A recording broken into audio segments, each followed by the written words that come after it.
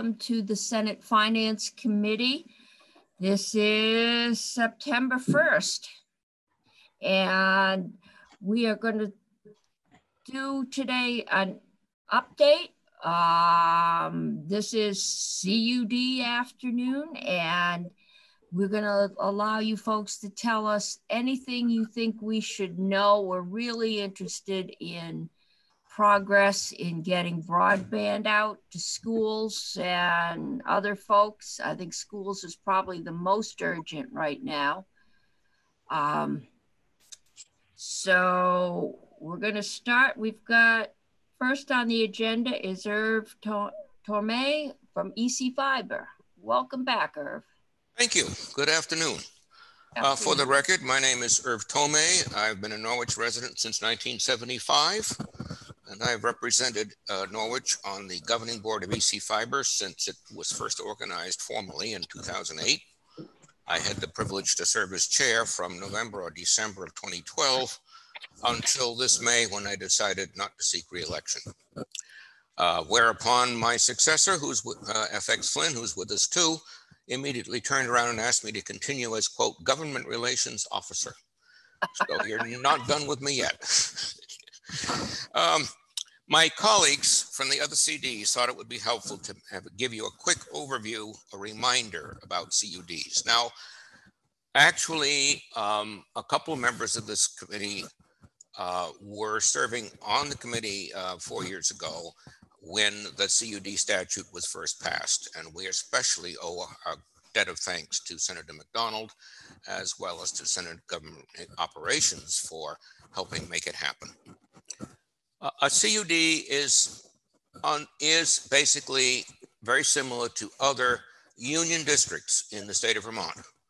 Uh, that means it has member communities and it, as a union district, it, it's, it has itself the status of a virtual municipality. There are two ways, important ways, in which um, a CUD differs from other types of union districts. One, in that it does not have the power of eminent domain. That was in the first draft, and I said, I don't think we need that, and I don't think it's a good thing to have. And more importantly, uh, restrictions that had existed in state law from before CUDs were formed uh, against using any local taxation to fund either capital construction or operations of a CUD. Uh, under state law, a municipality can build and operate a telecommunication network for the use of its residents and businesses and so on, but it can't finance them uh, either with direct taxation or any recourse against the grand list. If the CUD operations fail, the, the investor's only recourse is to the physical assets of the network. Uh, they do not have any claim against the uh, grand lists of the member towns. Uh, that's an extremely important principle. And it uh, so how can we be financed? Well, we borrow against pledge of future revenues. Uh, and uh, as EC Fiber has shown, this is indeed quite workable. Uh, I want to review briefly the benefits of a CUD, um, which mostly boil down to economies of scale. Um, it costs about the same per mile to string any kind of cable on utility poles. If you have to string a new kind of cable, it doesn't matter whether you're stringing brand new uh, copper to replace old worn out corroded copper, or if you're stringing fiber optics. Uh, the cost per mile is about the same. And the challenge is finding customer revenue that will defray that cost. As a regional body, by combining the customer base of many towns and the um, the financing capability, a CUD merges that into a single market unit, which can become economically viable. Now, there are uh, donut hole issues. I didn't mention this in my written testimony, and I'll try to digress very briefly. Um, but the commercial entities have typically uh, competed aggressively for business in the core parts of the more populous towns where they can uh, make a profit. But where they can't make a profit, uh, they aren't interested in going. Uh, there is a downside to some kinds of programs that make it easier for them to make a profit in a donut hole, donut type shape area around that central core.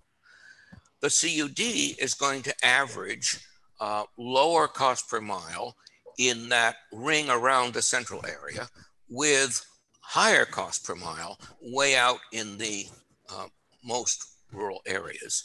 But if we can get an overall average of five to six customers per mile across the entire territory, we can make it work. And EC Fiber, I think, has shown that we do. The other thing about economy of scale is it also merges the efforts, the diverse backgrounds and skills of volunteers from many communities. And in, by uh, make, enabling them to work together for this common goal, uh, it achieves great leverage. Um, a CUD uh, typically contracts with some um, commercial entity or non-commercial entity, but with some experienced party to do the detailed work of designing, building, and operating the network.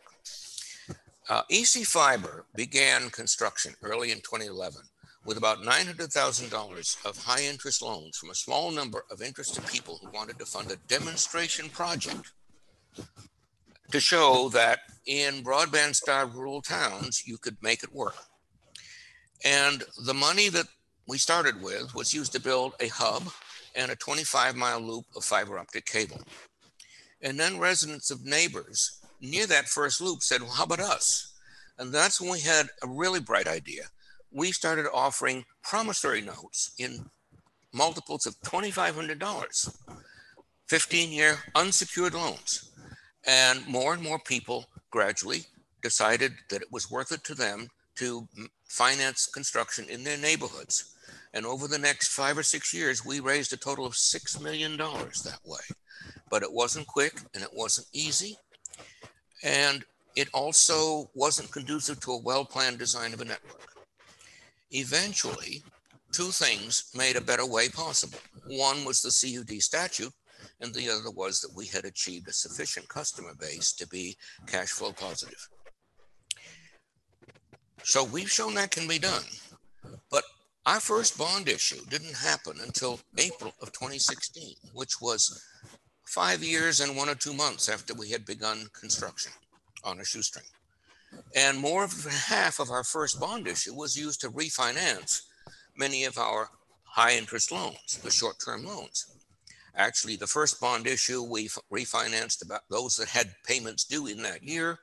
The second bond issue in 2017, we've paid off the rest of our high interest debt. The daunting question for any CUD is how do you get over that initial hump?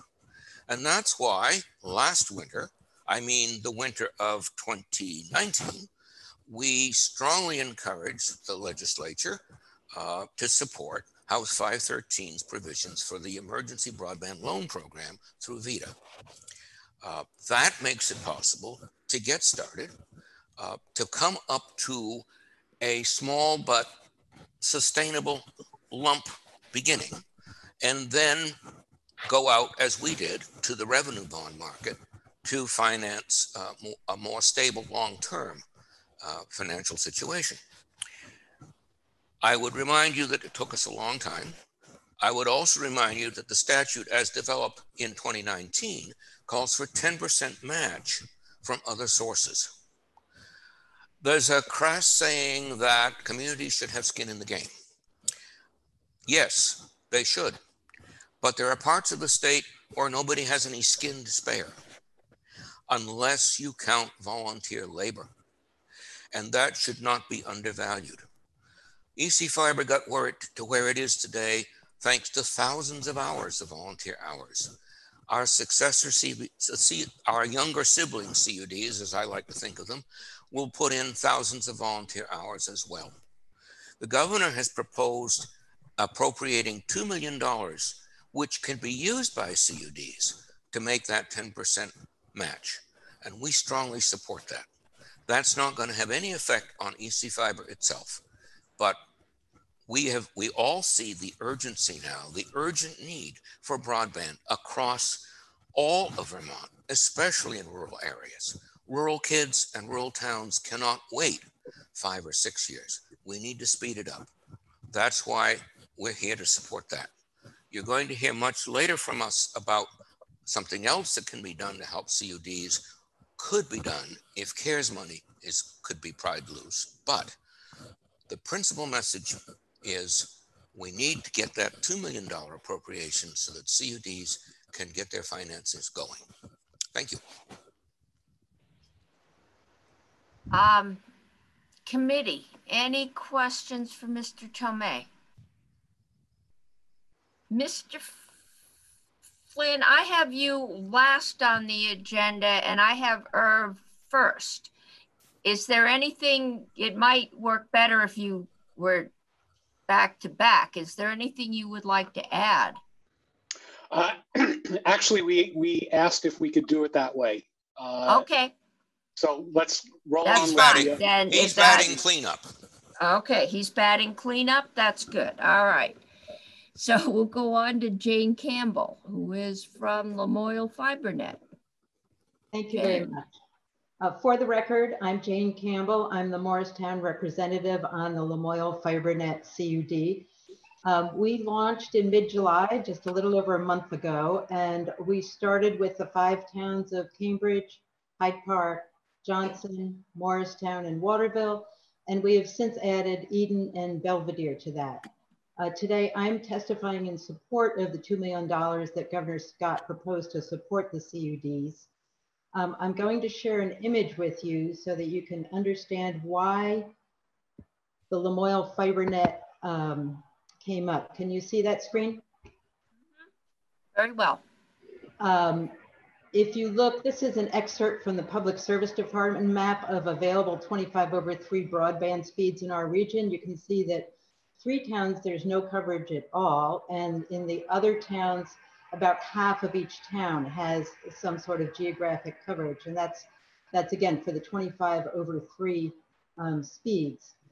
Um, were those towns that you've been reading about or hearing about where during the pandemic our school children had to find uh, someone to drive them to the hotspot at the school so they could sit in the car and do their schoolwork for people who couldn't do, uh, access telehealth services or people were trying to work at home and even those with broadband was finding out you know some of them teachers that it just wasn't um, it wasn't adequate for what they were trying to do um, I can share many personal anecdotes about um, unreliable speeds and buying extra equipment and calling our provider and calling them again and needing to move around the house while I'm on Zoom calls to get a more stable connection. Um, last spring, when our daughter was trying to do school online, what we had to do was turn off all devices in the house but one so that we could actually make things work. And that is with, we pay for 25 over three speeds. Um, wireless is not an option. We used to have wireless and that's, that's even worse, even more unreliable. Um, we understand that for some people, they feel that wireless is a, a worthy investment of public dollars. Uh, the Lamoille FiberNet CUD really feels that it's sort of an outdated technology and that if we're installing uh, wireless now, we're going to soon need to switch it to fiber. Um, just because some of the sizes of the files and the data that's going back and forth. Um, in the little over a month that we've been around, um, we started by securing a grant. This is before any of the state funding came through. We got a grant from the Green Mountain Fund for some of our startup costs. Uh, we've established our bylaws, drafted financial policies and procedures, job description. Um, we're applying for insurance. We, our technology committee has started researching and evaluating the technologies that deliver high speed uh, broadband and also looking at what the pros and cons might be of how we can interconnect with other CUDs. We've been participating in the regular meetings of the Vermont Association of CUDs to uh, keep up to speed, um, no pun intended, on uh, are there some efficiencies you know that we can collaborate on things and work together and also there's tremendous knowledge sharing that's really helping get some of the newer, newer CUDs up to speed. Um, our board is a great mix. This kind of taps into what Irv was saying before. It's all volunteers, but we have people who have expertise in technology, expertise in education, financing, fundraising, marketing, policy, and administration. Um, and I think that, that that broad spectrum of expertise has really helped us do so much in such a short time. Um, for our next steps, uh, we're going to be using a study that was commissioned by the Lamoille County Planning Commission to determine which areas we should first build out in. As, as Irv was saying, um, it makes sense to build the higher density areas first to help um, subsidize the other harder to reach areas. And um, then we will be um, contracting with somebody to design the system and then contracting with somebody to build the system. So we're assuming this fall will be the pole data assessment. Either we will do that individually or in collaboration with other CUDs. Then during the winter, that'll be the design phase. And in the spring, we will um, start contracting for the build out. So we're assuming that this is going to happen pretty fast because as we all know, this is, this is an urgent need for this infrastructure. It really can't wait. Um, the most difficult part of this plan is one piece that I didn't mention, and it'll be ongoing fundraising to get that initial chunk of funding that Irv was talking about. And this is why this $2 million is just essential. That's the key that can really unlock the door to the VEDA funds, which can then help us get on the road to building the rest of our network. Um, I think that the $2 million, and I'm speaking on behalf of the board here, um, will really make a difference into how quickly we can begin to work in our.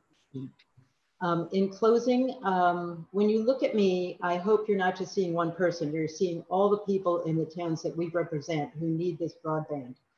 Um, our board really thinks it's been a wise move on the state's part to invest in CUDs, the investment that's been made so far, and that this $2 million is the logical, essential next step. Um, we can partner with internet service providers, but it's, it's a different mission. It's our community. We know the neighbors in those far-flung corners where the, the for-profit providers aren't going to be able to reach. And we have a mission to reach everybody and, and bring that high speed broadband to everybody. So I think that's a, a key difference. So thanks for the opportunity today, and I'm happy to take any questions. Thank you. Madam Chair? Yes, Senator MacDonald. Um, forgive me for asking my traditional question, but for those folks that are listening in and trying to understand the challenges, um, when we talk about high speed internet, could we talk about the speeds rather than suggesting that it's all the same. Um, you were the last speaker was um, helpful enough to mention 25.3 and the limitations thereof. And we're looking at the CUDs, I believe, with an expectation of working symmetrical speeds that that and that needs to be constantly spoken aloud to so the public knows the difference and, and doesn't just use one term. Thank you. Thank you. Okay, thank you. And I think, can we work on the assumption that everyone supports the $2 million? um, okay, I thought so. Because um, we don't appropriate it, but I'm sure you will get the word to appropriations and we will too. And on broadband, we are generally asked for recommendations. So we'll make sure that the necessity of that money comes across. Thank you. Okay. I have Ann Manwaring next. Familiar face and voice to many, most of us, I think. Well, thank you. I, it's very nice to see you all again. um, and for the record, my name is Ann Manwaring, and I am the chair of the Deerfield Valley Communication Union District. Um, we're 15 towns in Windham and Bennington counties, one of nine CUDs. And um, Faith, I wonder, could you put up the map of the CUDs? Um, I will. And you, I think um, for the members of the committee, as you look at that map, you will see that most of you have constituents in these uh, communication union districts. You just look, and you can see how far we've gone from EC fiber. Deerfield Valley is the red district at, uh, on the southern border of Vermont. Um, okay. Whoops, when you did that, I lost my script. so Faith, maybe you could take it down. Thank you. Sorry about that. okay. Um, a little bit, um, some of this uh, will be a little bit re repetitive of what Irv was telling you because I didn't know Irv was going to come on. And I know he knows a whole lot about how we began. Um, but we're mostly all new creatures. And in some ways, we're, we're, uh, uh, we're walking on the same ground with the help of, of the folks from EC Fiber. Um, but we're having to do things in a much more competitive world and with uh, a lot more competition for the resources. Now, particularly the, the ones that, that Jane was speaking about. So uh, here goes. communication union districts were created by the legislature and the administration because the state of Vermont made a commitment to extend universal high-speed access to the internet to every home and business in Vermont, focusing on the nearly 70,000 homes and businesses that are unserved or underserved. And this is for you, Standard, Senator MacDonald. Standard for high speed is defined as a minimum of 100 megabits upload and 100 megabits download, which is accomplished by extending fiber to every home and business. This is day. Pardon? Uh, that you made Senator MacDonald's day. I did. I'm always happy to do that. this is a monumental task. It's as monumental as was building the highway system or the electrification system, and is just as likely to be economically rewarding to our state and its people. The highway system is publicly financed in its entirety, both in its construction and its ongoing operations. Electrification is privately owned, but is publicly regulated. In contrast, broadband is delivered through a competitive market system that is unregulated. That market system is driven by requirements for the highest possible return on financial investment. It is this feature of the market economy that has failed rural Vermonters and all Americans from participating in the 21st century economy and indeed increasingly in everyday life of all of our citizens. We are now nine CUDs, most of which have been formed this year, building on the, uh, the success of the original CUD EC Fiber. Thousands upon thousands of volunteer hours of our community members have gone into this endeavor. That it was achieved in such a short time is testimony to the need. The job of the state now along with other public and private financing systems, is to do all in its power to sustain and strengthen the work needed to accomplish this in the shortest time possible. While that will require substantial public resources in a time when demand for those dollars is far reaching, the good news is that the public dollars will go away once the CUDs have reached service that uh, to a critical number of subscribers at this point, CUDs, even though we are municipalities, will continue to operate as though we are private sector providers by competing successfully um, in the market. Excuse me, just a moment.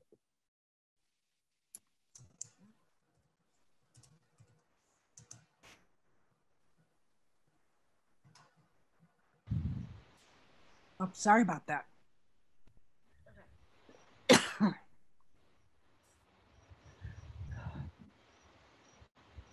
There is, however, one ongoing need for further public investment in CUDs, and that is to find a way to subsidize rates for eligible subscribers. This is important for true universal service, but also because private providers do not have to carry subsidy costs in their profit and loss statements. And subsidies should be available to customers of private providers as well. The Public Service Department has estimated that the total cost of the infrastructure needed to connect all currently served or underserved will be nearly $300 million from all sources, including federal and state grants and loans. um, the 800,000 made available in H966 and the $2 million requested in the new budget will offer us a good start to do pole studies, work with utilities to do make ready for those poles to accept new fiber, do our engineering and design for the system with all its needed redundancies, and undertake construction and marketing, all leading to the day when we can light up the fiber to all our homes and businesses. Toward that end, the primary purpose of the $2 million request for each CUD is to be able to provide the 10% match to unlock the $4 million VEDA loans. uh, I will also, as an aside, I do believe that the language of the uh, the bill doesn't give uh, 4 million for each CUD. I believe there's a, a maximum that was created at a time when there was not the assumption that there will be as many CUDs. So the available uh, availability of money, how it's matched, and, and a, no, a, number of other things would be really good to revisit uh, in the VEDA uh, construction of uh, how they lend money. Access to the internet is no longer a luxury. Uh, it is a requirement for participating in today's economy. And so many of today's essential services, from ordering groceries online to educating our children, access to the internet is available to all who live in large communities, but denied to those of us who live in rural communities. And because Vermont is the second most rural state in the country, there is no public investment that will be more rewarding to Vermont's fiscal strength than is the public money that will bring all of its citizens into the 21st century economy. We support the $2 million included in this budget targeted to CUDs, and that asks that you direct these funds and future funding and regulatory structures to assuring that CUDs become viable providers of broadband to meet the needs of all our citizens. And Faith, if could you put up the second map and just this will this is a map that shows you the distribution of unserved addresses around the state. Um, it is a work in progress. Uh, thanks. Uh, we are we are very familiar with that map. Okay, all right. So you will see that this is where there is no service. And we're the yep. little knot of people down on the on the southern border. Thank you so much. I really appreciate the opportunity. Okay. Thank, Thank you. you, Representative. So your Yes, and Senator Campion is with us. Yes, and he is my senator. Yes, he is aware of that, and we are aware of that. Um, he has actually been very supportive, making sure for the CUDs, um, especially down in your area. We're aware of his good work. And as, as has been Senator uh, Balint, who is actually not my senator, but uh, because also we, does good work. Yep. Wilmington, and, which is in Windham County, is actually in the Bennington Senate District. But as far as I was concerned, when I was in the legislature, I had four senators. so it's a good way to go. Yes. Um, so the Deerfield CUD, Deerfield Valley. Yep. You are still in the formative, um, like Lamoille, you guys have not strung any wire yet. You haven't Correct. done any engineering. Um, you're still formative in figuring out your finances. Correct. Correct. Okay. Okay. That's I would. There's so many of you. Um, I think when we started this, there was EC Fiber and Central Vermont Fiber um, that seemed to be close to running.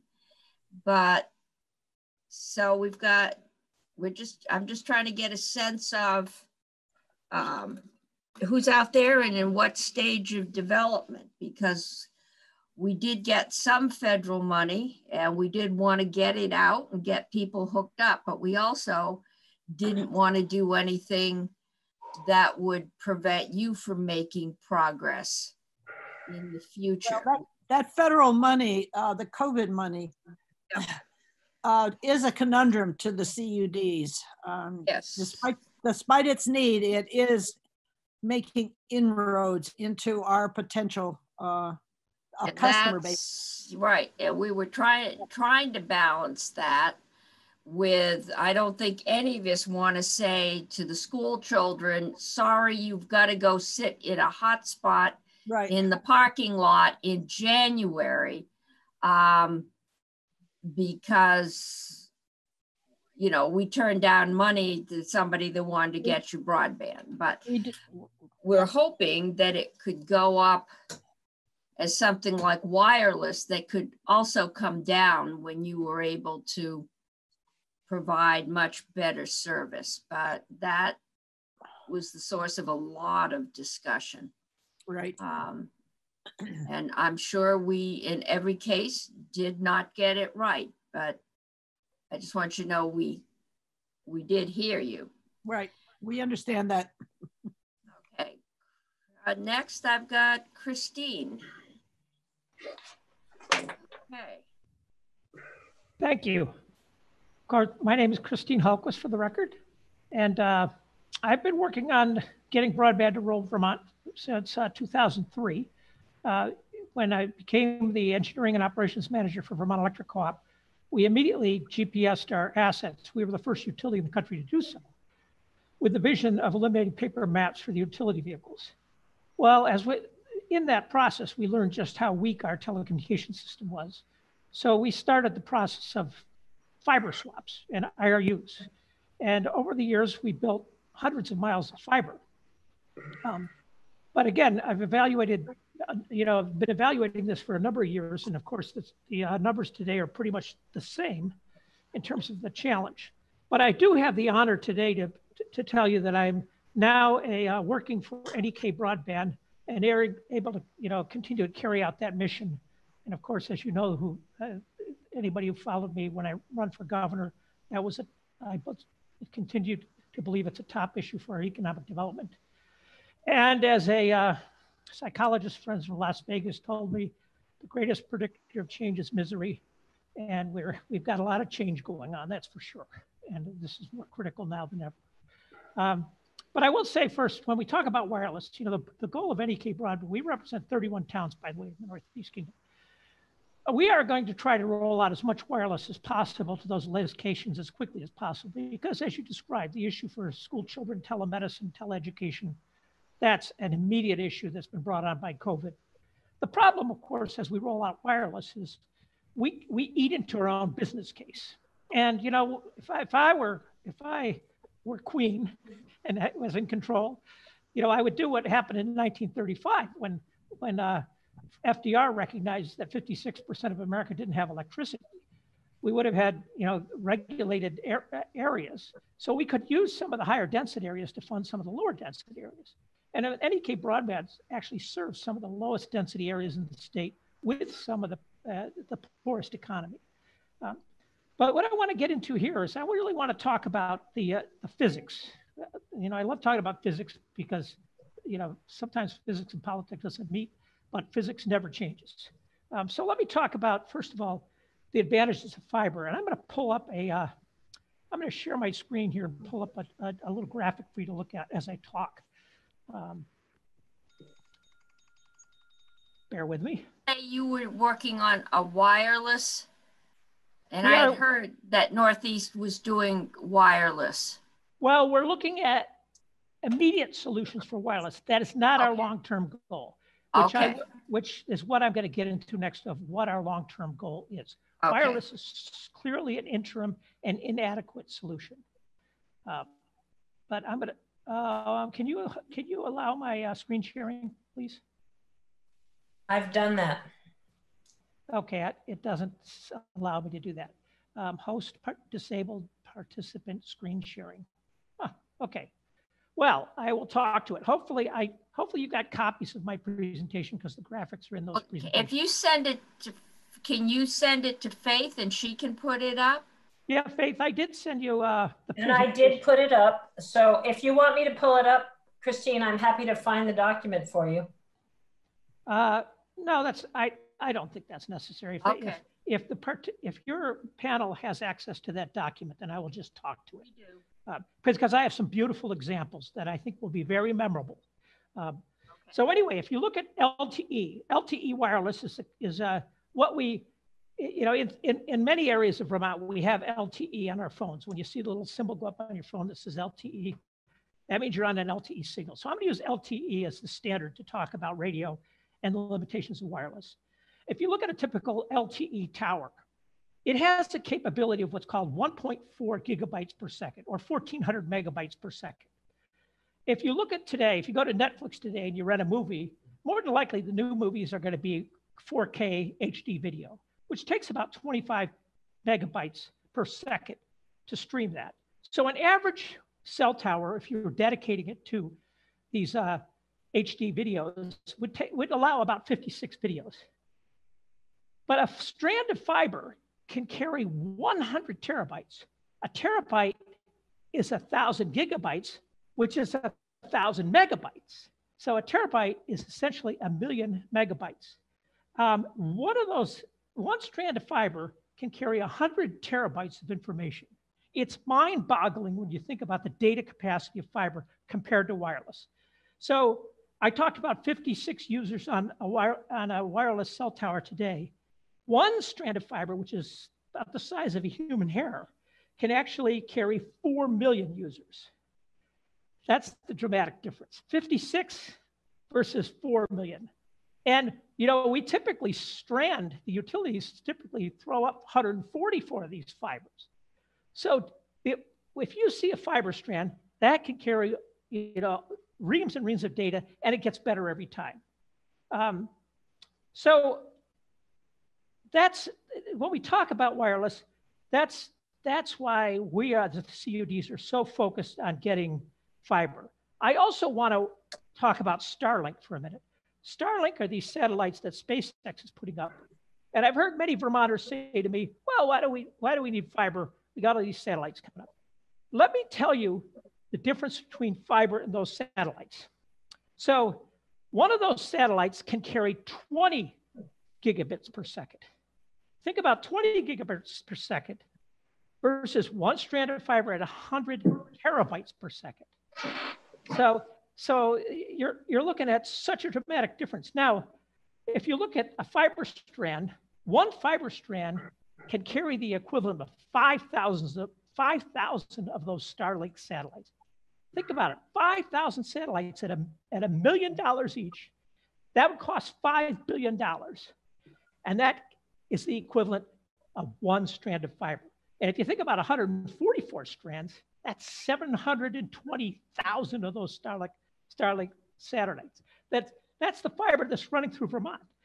And basically, if you, if you construct fiber, first of all, there's 720,000 satellites. Starlink's only going to put up 12,000 for the entire planet. So those aren't going to be dedicated to Vermont. I'm thinking, I'm getting your imagination to think about 720,000 of those satellites dedicated to Vermont and what the cost that would be. We could totally populate all of Vermont for less than one one thousandth of that cost. So this is why you hear we as CUDs so excited and so focused on fiber. And when you hear people talk about these interim solutions, that's exactly what they are. They're interim solutions. So when we talk about doing wireless, we're going to do wireless, but we don't want it to distract from our long-term goal of getting fiber to every home and business in the state of Vermont. So that, I just wanted to give you a little background on the physics, um, and I'll be glad to answer questions Helpful. at the end. Senator Pearson, you have a question? Well, just since you've illustrated it so nicely, could you help us understand coax as it fits into that whole scheme? Yeah, uh, coax is, is, is still on the lower end. You know, coax, you're looking at maybe half a gigabyte, you know, so, so again, a strand of fiber has about 2,000 times the capacity of coax. So, so coax itself, you know, you're maybe be able to get up to, you know, 500 megabits of transfer, but you're nowhere near where you're going to get what fiber is. And, And and I'm- did, Madam Chair, didn't, Well, I, I had, all right.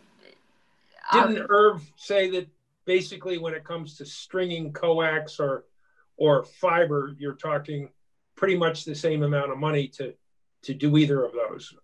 Is that That's correct? That's correct. yes. Thank you. That was a good statement. Senator Brock had a question.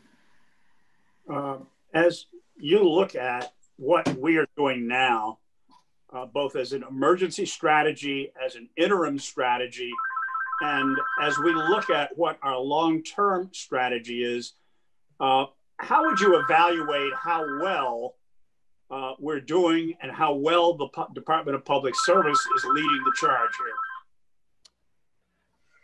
Well, I will tell you that I think you're doing the best you can with what you have. You know, and I and let's put it this way. I don't envy the position that you are in because, you know, you're having to make this is a serious crisis, this COVID crisis, and trying to make decisions about where you're going to spend funds between between life and death today over a long-term economic growth for tomorrow. That's a tough decision. So I'm not going to sit and criticize at all um, what's been happening. Uh, I think people are doing the absolute best job they can. And, I, and, and again, short, the, the, the, the real magic is creating regulated territories for the CUD. Short of that, what's in your power? Well, make sure any grants that come out of the state be directed through the CUDs. St- you know, strengthen those CUDs. I've been telling legislators that have been talking to me, when people, you know, I know you're getting lots of questions about broadband direct them those questions through your local CD, CUD. You built what I think is an excellent model. Uh, and now what we need to do is strengthen that model, strengthen that model in two ways. Make sure the funding goes through that and expect those CUDs to provide those answers. I think you've, we've, you've created the expertise. You've essentially created what's like a subcommittee.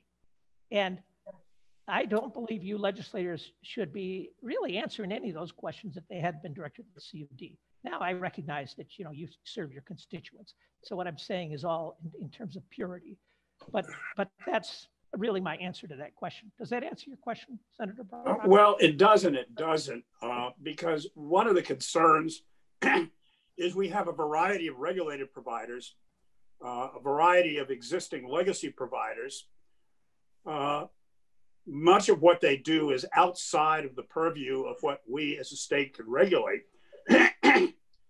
who are effectively in competition with the CUDs, at least in some parts of CUD territory. We've heard here today the imperative of getting people online now rather than having them stand in line for two years or three years or whenever it is that a CUD is ready to serve them. How do you reconcile that with your recommendation to have everything go through the CUD when the CUD, in some ways, have a competitive interest in not allowing competitive providers to provide service in some areas? I think so. NEK broadband. I, so let me just tell you first. I I love the electric cooperative system, which is a volunteer board and it's it would, a not-for-profit system. Um, and the reason I love that is because the the goal. We all have to understand what our goal is. And our goal at the NEK broadband, although it does eat into our business case, our top goal is to get people served.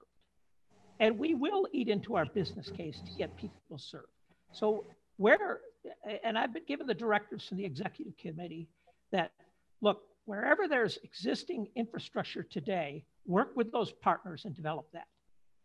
But we want to develop that as a partnership.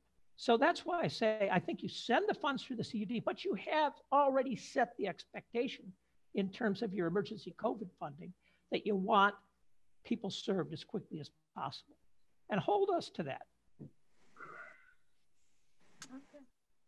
If you look at the strategy that you see right now, uh, in terms of our emergency planning and the various streams of funds that we have, is there anything that you think we should change right now? I, uh, the only thing is, again, is, is make sure you direct the funds through the CUD and set the expectations for the CUD. Hold our feet to the fire. You put that just like you would hold the feet to the fire of anybody. Hold our feet to the fire, demand we do it. You know, I certainly, you know, I was the CEO of Vermont Electric Co-op. I certainly understand what demands are and, you know, and the, the, the imperative of getting fired if you didn't meet those demands. Thank you. Uh, so that re you really hit on my next point, and thank you for that, which is around how do we utilize the CUDs. Um, we are going to also, it, you know, to follow up more in terms of what you're talking about, Senator Brock, is there's tremendous amounts of existing fiber in the state today. There's state-owned fiber, there's utility-owned fiber. That, that, there's no, there's, it, it would be a car, I don't know, car, what do you call it, mortal, a mortal sin to, uh, for us to be overbuilding that. So we're looking at developing, uh, using uh, indefeasible rights of use or IRUs to, uh, to be able to use that fiber as an asset. The beauty of an IRU as a, as a legal tool is that you can, you can take a strand of 144 fiber and dedicate one bundle of 12 fiber to the, to, to uh, the NEK or to any of the CUDs, and then it becomes an asset we can put on our books. So the most important thing we can do right now, and this is our focus, is to build our asset base. So we're going to be coming to the legislature in the next session to look to you to give us some the, uh, the legislative ability to use indefeasible rights of use. Um, that's um, and that's going to be the part I you know I worked with uh, there's there's a CoBank and Cooperative Finance Corporation that finances municipals at and uh, co-ops at two and a half percent interest rate now. You know, so if we if we can build up, but of course they're not going to give us 100 percent. They'll give us up to 75 percent. So if we could build an asset base, then we can leverage that asset base to get additional funding. And I, the last place I want to get that funding is from the taxpayer. You know, I, I want to get that funding through good business planning, building up an asset base, and, uh, and do the long-term borrowing, because that's how our electric utilities were built. That, so that's uh, essentially, let me make sure I got, oh, I, want, I wouldn't want to leave this without, I want to make sure I box this up as a separate issue one of the most important challenges uh, that we face right now is in terms of pre-engineering is a really, we need a good poles and wire database. Uh, and I don't know what it's going to take. And we'll, and again, we'll investigate that for the next legislative session. But, but we really need to have a mandate a wires database that's, that becomes a public database. You know, I've heard some, some I won't mention any names, but I've heard some of the I don't, I, I don't even want to say too much because we might figure out who it is. But, but the, you know, there are some folks that say, well, this is critical infrastructure. No, it's not. The majority of our electric infrastructure in Vermont is it's non-critical. Critical infrastructure is defined by the Federal Energy Regulatory Corporation, or FERC. Uh, yes, VELCO assets and some of the GMP substations are critical, but 95% of our infrastructure can be made public in this state, and there's no reason we can't do that. So, you know, I'll be I'll be glad to be, you know, keep people honest on that one. It might be helpful. Um, I did have a call last night from someone who represents one of the major utilities who apparently this topic has come up elsewhere and wanted me to know that their poles were mapped and online. So are you having, is it smaller utilities you're having trouble with? I mean, you, yeah, uh, yeah. just if you could let us know. Um, sure, sure. I'll, actually, I will speak to those utilities first. I think okay, that would probably be very diplomatic. Yep. The answer is that, put, you know, let's all commit to getting this database online and keeping it updated yeah. and live. Make the shape files available, just like we do through Vermont VCGI. Um, okay, and maybe so, we could find some COVID money for that since this is pointed out how critical it is to know that. Okay, yeah, no, I think it would be definitely better to ask before we tell. That's right, I agree.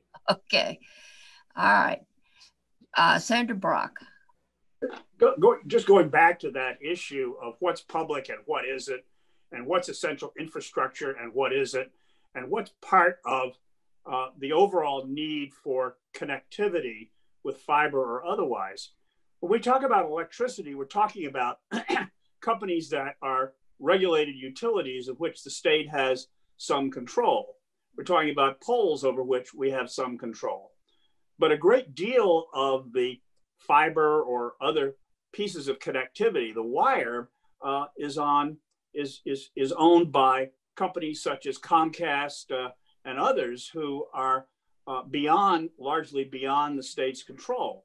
As we talk about the new, uh, neutral access, if you will, uh, that would be the ideal that perhaps many of us would think about as we look back to the history of electricity, uh, is complicated by that.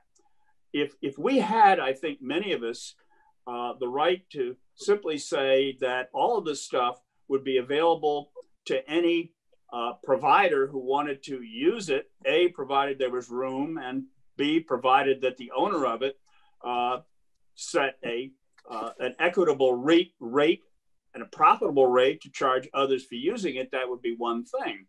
But do you envision any way that anything like that can be done, that the state has any ability to mandate anything that would really extend broadband more equitably throughout the state and allow the various users uh, to be able to use it? Well, let me just say, there's I would I would go out and say there's a I don't know what it's a majority or what percentage it is, but there's a large percentage of electric utility fiber out there. And in the emergency broadband action plan, there was a reference there to, you know, making fiber available at a dollar per strand mile. Uh, today, they're, you know, you're looking at 15 to $25 for strand mile. You're never going to be able to populate the Northeast Kingdom at 15 to $25 per strand mile. But let me tell you the argument why I would say that it's in the best interest of all of us to allow some level of funding from the electric utilities to the telecom provider. One of the things my CFO used to tell me all the time is, Christine, you give me 2% low growth, and I don't have to come in for rate increases because you're dealing with fixed assets. Um, so if we have load growth, you can pay those assets. Today, we're seeing load growth decline. And I, there's a difference between good load growth and, and, bad load growth. You know, inefficiency is bad load growth. But I'm talking about good load growth. If you look, there's a direct correlation between economic growth and electric load. So just like the theory behind tax increment financing, you know, if you make the investment today with that telecom infrastructure to grow your rural economy, that will pay for itself in the future for the electric utilities in terms of load. So there's an argument to be made there uh, for why we could do that with the with the fiber, the state and the the uh, electric utility fiber infrastructure. Now, what I just threw out was quite controversial, so I'm certainly not expecting you to take action on that right away. But that's part of the topics that I think we should continue to talk about. Well, I guess that, that that's the that's where I was going in terms of the question that if we wanted to do something like that, how would we go about doing that? Well, what it's it's a little bit of that to happen it's it's it that I does that does need to happen, and you know, and I and I think the answer is you need someone, and I'm certainly willing to you know do that. Is run those numbers and and show the long term positive impact of load growth versus you know versus some level of of, of fiber subsidies because it the numbers you know ultimately you know, the, of course people can fudge numbers i understand that too but ultimately, you know, if we if we're talking about numbers and talking about data, then we're then we moved a step a level higher in terms of our discussion. Well, do we say, for example, uh, you know, in the in in the micro sense that if you have a, a road like Route, Route 207 between St. Albans Town and Swanton, uh, there's cable up the road and you can access Comcast at any point. Do you also say to Swanton Electric and Green Mountain Power that uh, we want to put fiber on your line as well so that A, people have a choice and that it's available to any provider, not just what Comcast wants to deliver. Is that? I would argue that that's, there, there's a good argument for that. And, and ultimately, you know, let's go way far out uh, in terms of vision. If you truly believe we're going to get to an all electric infrastructure and electric vehicles, we're going to, it's a necessity that we have interactive telecommunications with the load. And I'll give you one example. A, a you know, you look at these Tesla electric uh, tractor trailer rigs, they have a 500 kilowatt battery storage plant on it, and they're going to want to charge them up in 10 minutes. 500 kilowatts in 10 minutes ends up to be three megawatts off a line. Well, our lines are only capable of three megawatts on average anyway, in terms of a feeder. So you, you're not going to put a couple trucks on the lines because you, you'll collapse the grid. So you got to be able to talk with these things in terms of your generation, your load.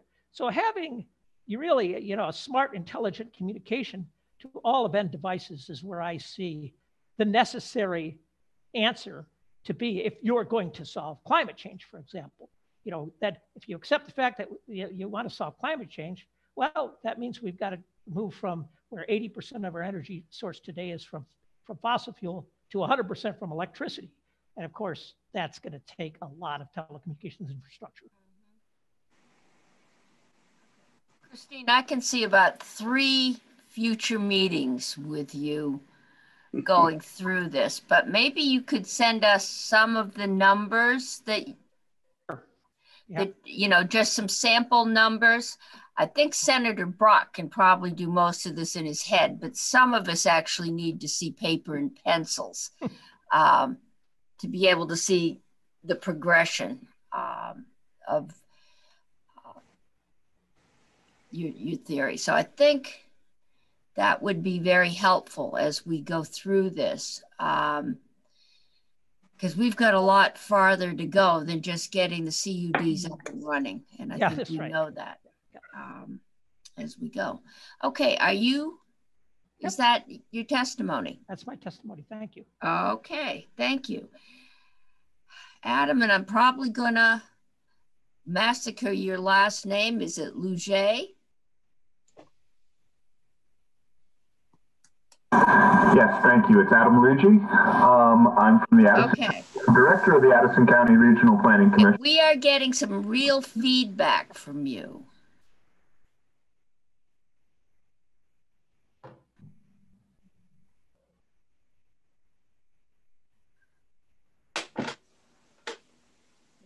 It.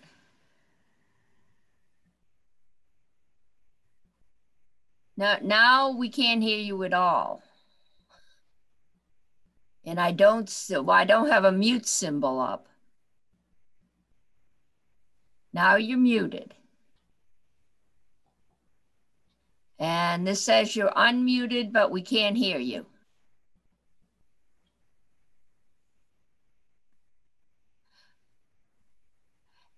Do you want, I can go on to the next witness. You can work on this and uh, if all else fails, you can call in. Just, I think, email Faith your number so she knows who to let in. And we'll go on to Chris Coda, and then we'll come back to you if we can figure out the technical difficulties. Okay, where Right here. is Chris is up top. Okay. Right here. Um, so for the record, I'm Christopher Cota, Vice Chair of the Northwest Communication Union District. Um, I have a prepared statement I'll be reading today because unfortunately the chair was supposed to present this and he had a last minute appointment that came up. So Okay. Where are you to start with? What what towns? Sure. Uh, we're in northwestern Vermont, so I personally represent Fairfax. We also have Georgia and Montgomery, Enosburg, and um, I can give you the full list of CUDs, but I don't have have our Okay. region memorized. Okay. Um, so it's a pleasure to appear before you today and testify regarding the funding broadband expansion in Vermont through the Communication Union districts. The creation of our district was born out of the limitations of current providers and the great inequity of broadband access highlighted by COVID-19.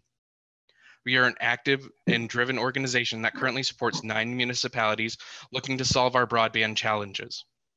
I will begin by describing the connectivity of our district to provide you a foundation by which you can understand the support the CUDs require to accomplish Vermont's long-term connectivity goals. Currently, 9.5% of our district is unserved by any reliable fixed line internet provider. During the current pandemic, these residents were cut off from access to education, work, and telehealth opportunities unless they leave their homes, putting their health at risk.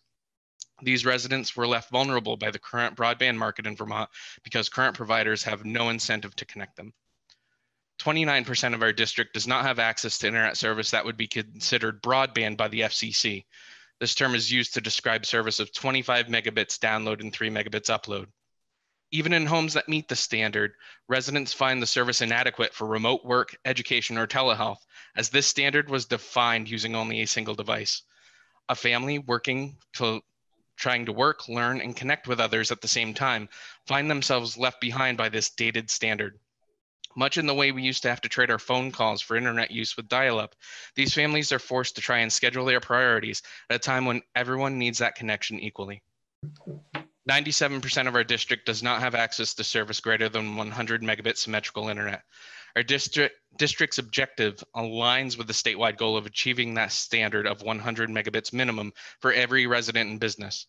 This achievable goal will provide significant economic benefits and create a generational impact for Vermonters.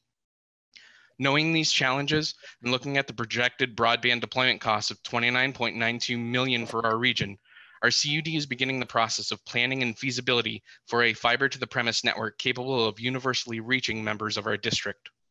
Without increased financial support from this committee, we feel the goal of the 2024 for connectivity would be difficult to accomplish.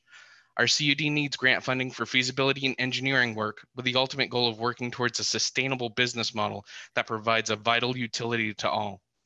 Our group of dedicated volunteers also needs funding for support positions, such as a project manager, a technical director, and a data analyst in order to accelerate our CUD to meet the increased needs of next generation internet service in our communities by investing in our CUD, we'd be able to provide long lasting social and economic benefits to our district, which would make Vermont stronger for generations to come. Thank you for inviting the testimony of the Northwest Communication Union District. If there's any questions I can answer, I'd be happy to. How long have you, how old are you? How long have you been working at this? We're on week five. Ah, okay. The newbie. One, Well, of, one can- of the freshest, probably. Okay. Well, you've got some old timers here. So um, one of the good things about being the newbie is you can learn from the old timers. Um, any questions for Chris? Okay, I'm not seeing any. I do see Adam is back visually and I and he is on the phone. So Adam, I'll go back to you. Great. Can you hear me now? I can hear you perfectly. Okay, All right, thank I'm you. I seeing some thumbs. apologize for uh, that technological glitch. Um, Has happened for- to all of us. Well, thank you for having me here this afternoon. I'm Adam Lougee. I'm Director of the Addison County Regional Planning Commission. I am here to testify on behalf of the uh, Addison County CUD. We are one of the newly formed CUDs. Um, we currently represent 12 uh, towns in Addison County. Um, I expect we will add more. We just started in July and we've put on a lot in a, in a pretty quick time frame. Um, and, and I expect we'll get the whole county by the time we're done. We also Um, I like cats on this committee, so don't worry about him. Yeah, well, she likes people. Um, anyway, um, we've come a long way in a very short time. Um, I wanted to support the $2 million of funding in the governor's budget to um, basically allow us to serve the underserved people um, within our region. Um, I've been the Regional Planning Commission Director for 20 years or so. And the response that I got from the feasibility study that we were doing for broadband is probably bar none the best response that I've had for any projects we've built, whether they're sidewalks or, or other pieces of infrastructure or, or plans or things like that. I got a, a ton of feedback from um, people all around Addison County saying, I need this for my business. Um, you know, I'm an architect in Waltham and I can't uh, can't commute to my office. I'm a um, a, a hedge fund trader in Cornwall that does Bermu- lots of my bus- uh, business in Bermuda, and I can't do it right now. Um, just uh, Middlebury College, Porter Medical Center, you know, their employees, um, just a lot, a lot of people. It stunned me how many home businesses there were in Addison County, to tell you the truth. Um, and how many that were there despite the fact that they had really inadequate broadband. So I believe, um, you know, to answer some of Senator Brock's questions, if this infrastructure will pay itself off, it will allow us to expand and that and and allow our children to go to school and enable telemedicine is something that is that is very necessary in our rural areas. So um, I think I'm gonna gonna just stop there for right now. You've heard a lot of other things from other people, but um, the CUDs have come on fast. Um, we're really representing almost all of the state at this point. I expect we will get to even more portions of the state, and uh, with funding, we can reach um, underserved portions. Thank you. And any questions? I also have next is Jeremy Grip from Addison. Is Jeremy still with us? I Yes. am here. There you are. Can you see me? Yeah. Um, uh, I, I have a little presentation here, uh, which uh, will sound pretty basic to a lot of the folks here. Uh, I am impressed by the level of this discussion. Uh, I'm learning uh, more than I will have to tell you, but here's my presentation. My name is Jeremy Grip. Thank you for hearing my testimony. For almost a decade and a half, I have operated Small Wisp, a wireless service provider in Addison County, in rural Addison County. We started as a co-op with some VTA and VEDA funding. Um, more evidence, should any be needed, of the importance of initial public support for broadband efforts. I'm not here to promote wireless, however. On the contrary, I'm here to share a few lessons I've learned in the process. The first is that the world of wireless is one of constant change and improvement, which is great, except that it means that current technology will likely be obsolete in five years. Five years is a good number for this, I've learned. So although it may be the most economical way to meet the bandwidth needs of most Vermonters today, it will require frequent reinvestment as those bandwidth needs increase. In fact, the current federal standard of 25.5 has already been made obsolete by the zooming demands necessitated by COVID-19, as we all know. The second lesson is that in all areas, there are locations that are almost impossible to get to with wireless.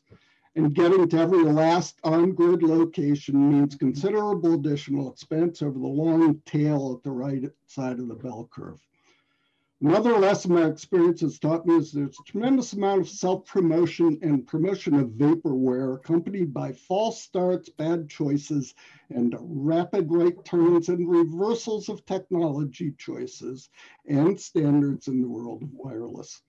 That makes it even more difficult for funders than it is for operators to make commitments. One has only to look at some of the providers who have absorbed significant federal and Vermont funds over the past two decades. There are some heroes in wireless, but there are others that range from the incompetent to the criminal. And a lot of money has gone down that drain. Fiber to the home, FTTH, is another animal entirely. Although the initial cost may be double that of stationary wireless, the investment is long term, uh, as you've heard in, in tremendously eloquent terms from this Hallquist. In a 20 or possibly in a 50 year period, the operational cost is minimal and there should be no requirement for an upgrade, whereas wireless will require multiple rounds of reinvestment and the total cost will be vastly more. The problem has always been how to finance that long-term investment. The pioneering work of EC Fiber has solved that problem with revenue bonding after initial funding support, almost all of which is repaid on the path to permanent cash flow or profitability. Additionally, I personally firmly believe in the ideal of citizen ownership of media and its place in a functioning democracy. All this is why I'm wholeheartedly supporting and, and, and doing what I can to, uh, to see that ACCUD, our brand new Addison County Communications succeeds. I hope the legislature shares that wish. Um, uh, hearing uh, the prior testimony, testimony, I have to say that um, that I understand that you understand that there is a temporary need and that you regard wireless as a temporary solution. And that's absolutely appropriate. In fact, I am uh, connecting new customers, challenged students being subsidized by the local school district. I have uh, physicians. Uh, I have a cardiologist who, who needs to uh, operate remotely in the era of COVID, who is very challenged. It's a constant battle. I don't want to be this busy. I want to retire. Thanks. That's really all Thank I you. have. I'm open to questions. Any questions, committee? I am not seeing any. So we're going to move on. I'm doing one last look to Jeremy Hansen. And I think you're in the senior class here, Jeremy. I guess so. I guess so. So, uh, Jeremy Hansen, I live in Berlin, Vermont, and I, uh, I'm the chair of CV Fiber. Um, we were founded in 2018, town meeting day. Uh, we're made up of 20 towns in Washington, Lamoille, and Orange counties. Um, just to give you a quick status update as to where we are, uh, through a broadband innovation grant, uh, we finished our business planning and our feasibility study um, in the last couple months. Um, that's done. So we're essentially um, at the beginning of the race, waiting for the starting pistol, and I'll get to get to what that looks like in a bit. Um, we also have applied for some of the CARES funding for a small fixed wireless build, which again is intended to be a stopgap to get service to some kids and folks working at home. Um, the, uh, we're looking at 244, possibly serving to up to 244 locations and 50 priority locations with that fixed wireless build um, at a minimum of 25.3. Um, the long-term goal is to serve every resident, uh, every residence, business, and civic institution with gigabit speed. That's what 1,000, 1,000 or thereabouts uh, fiber um, throughout the entire district. Um, the reason that we're still kind of waiting at the starting line is we applied for uh, matching funds for the VEDA loan program from NBRC, and we did not get it. Similarly, um, the uh, Public Service Department applied for some funding through that also to support CUDs, and they also did not. Um, they also did not win their grant proposal. Um, however, uh, we did recently receive um, $100,000 from the PSD through the grant program that the legislature recently authorized for CUD startup funds through the end of the year. Um, we've used some of that for uh, the wireless build, and we've also used some of it um, where we had ear earmarked for a project manager that we just began our contract with uh, yesterday. Actually, his contract starts today, and I expect that he's watching. Hi, Tim. Um, so we're hoping, um, so again, we're expressing support for the $2 million that the governor put uh, in the proposed budget and uh, hoping for that as the match for the VEDA funding because the like the moment that that hits our bank account, we will be applying, um, we'll be su submitting the VEDA loan and we will start um, we'll go be going a bit farther with our pre-engineering and engineering, and we'll be we'll be ready to go. Um, we're kind of itching, ready to go. We have kind of the pilot sites, I think, basically chosen um, and while it's not concretely engineered, we, we, basically know where we're going to be going. Um, and again, that's to build gigabit fiber um, over about 150 miles of our district. Um, so one of the things um, that's been talked about is the the wisdom of this emergency funding versus the longer term funding. And this is something that um, we've talked to a lot of people who are excited about line extensions or who are ex excited about some of the, the wireless deployments. And so, notwithstanding a lot of that excitement, you know, we have to be in that kind of pragmatic middle. And we've been, at our last meeting, we spent a bit of time philosophizing about whether um, it's more valuable for us to get those people served more quickly um, with compared to what we will get to them with inferior service and get, get them that service now versus better service later uh, more cheaply. Because uh, you know please be aware and i don't know if anybody has said this in this in this particular way but you know when we are when these this care cares funding subsidies go out to places that we will eventually go to serve later it's going to be more expensive for us to get there because there will be uh, fewer people, the take rate will be lower, and therefore our costs as we sort of distribute it among all of the various subscribers will necessarily be higher. So more people sign up, the better. But when we, uh, so it's kind of a, I mean, it's a really, a, it's a terrible situation to be in, right? Is we want to get people served now, but getting those people served now makes it more expensive later. Um, so we if we are going to be something like the carrier of last resort, um, we will we may need additional support or subsidies for those areas that are covered by those short-term extensions. Um, there are people who are uh, who are going to be left out of those um, line extension requests who are um, not accessible unless we overbuild in some of those areas or unless we go through places that are otherwise served. Um, and those people who are, you know, who were not part of the the, the cherry picking of some of the incumbent providers, um, they because we still intend to eventually reach everyone, it makes it much more makes it makes it much more expensive for us to do so when we have to compete there.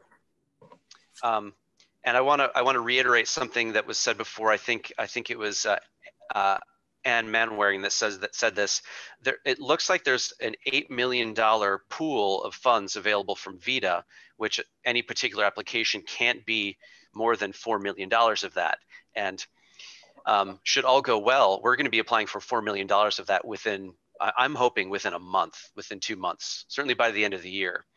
And you know, I'm, I'm looking at the plans for the other CUDs, and the other CUDs have the same idea. And if they want to build a project of roughly the same size as ours, there's not going to be enough left of them, not not going to be enough left of that pool for them to go and do those projects, because some of that VEDA money has already been distributed. That loan is those loans have already been distributed. Um, so we will probably need a bigger VEDA pool, some authorization to expand that to make sure that all of the CUDs can participate in this. Um, and up until the point where we can go and then get revenue bonds of our own, which for us is is going to be about three years out. You know, if we're able to get some revenue from our fixed wireless project, that gets us in line a bit quicker. Um, so we would be able to pay back those VEDA loans quicker. Um, however, again, it's you know kind of first you know first pig to the trough, and it's looking like we're we're going to be muscling in on that, and that's going to put the rest of our comrades here in a in a tougher in a tougher position. Um, I also like the idea that was pitched earlier about having CUD feedback. I think Christine, that was yours. Having CUD feedback, or uh, maybe not control, but some uh, significant deference to CUDs and the strategic planning that we're going through right now. Um, and the idea of subsidizing rates for you know folks getting SNAP benefits or or that sort of thing, I think that's that's valuable. I mean, that's something that we expect that we will be able to do on our own in the future. Um, but we have to have stable financials underneath us for a couple years before we even consider um, kind of juggling around the rate structure to handle that. I mean, that's something that I imagine EC Fiber could start thinking about, but even so, you know, as they're still building more more network, it's st still maybe not not the best idea just now. And that's and that's all I have. Thank you. Any questions, Senator Pearson? Thank you, uh, Jeremy. And, and maybe this is a question for you and Christine, if, if she's still listening.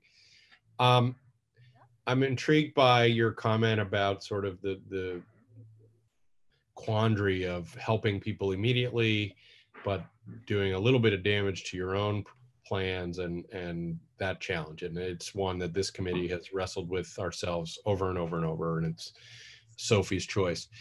Uh, i wonder uh, though if there is any opportunity or if you've considered um, getting people a wireless fixed wireless today and then sort of then you've got them as a customer just swapping them out so that so that you know their experience is only going to get better but but then you maybe as a strategy don't have to go um, you know only hitting one of every five houses instead of one of every three or something like that. Uh, maybe i'm completely oversimplifying this but it does strike me that and obviously that's more costly than just building once but uh, i'm just if you could comment on that is there any wisdom is that already part of your thinking. And uh, Christine, you mentioned short-term fixed wireless, so maybe the same question could go to you as well.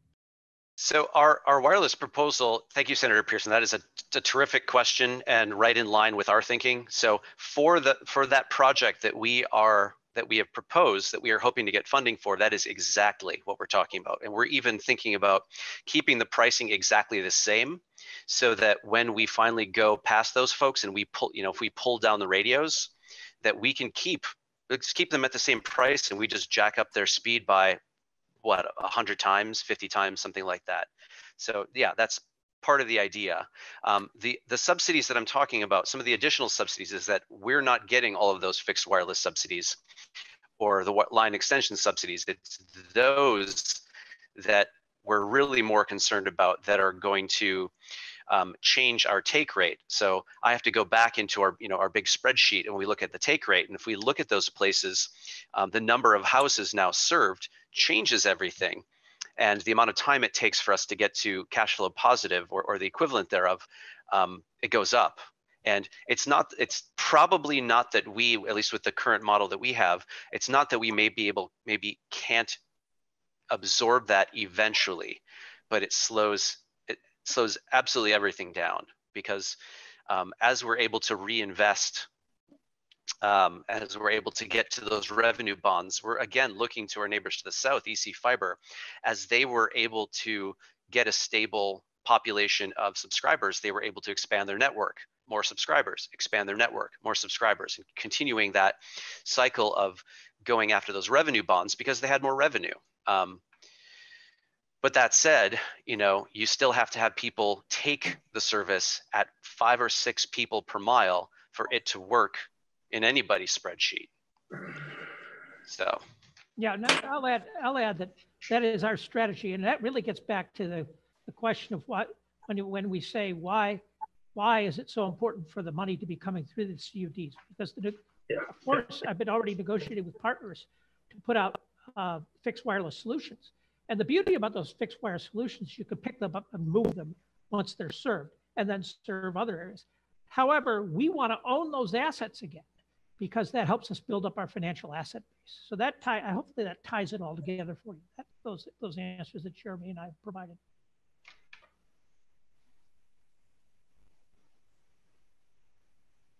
Questions? Any more questions? Okay, Madam Chair? Thank you. Yes, Senator MacDonald. Uh, are we through everybody or we have a couple more? No, we have, we have the, the, uh, Mr. Flynn is going to wrap it up for us.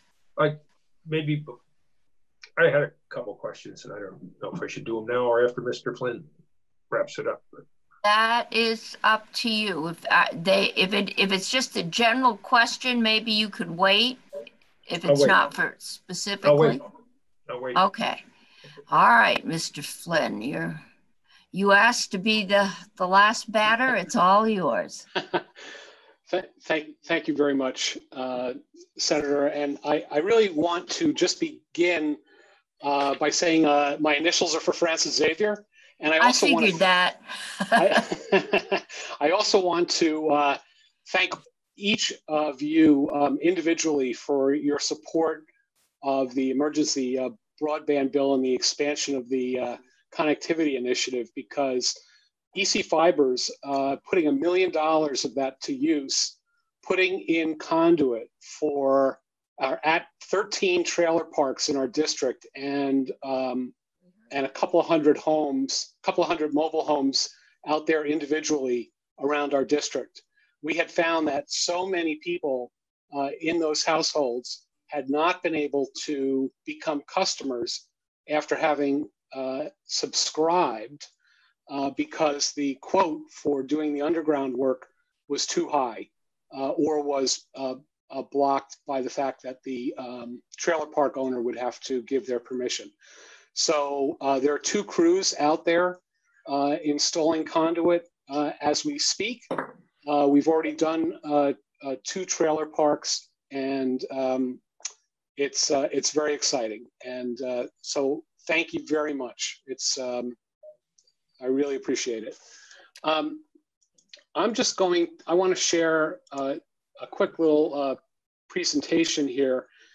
uh, we're talking about solving the rural broadband crisis. And the uh, states made the decision that EC Fiber is the model.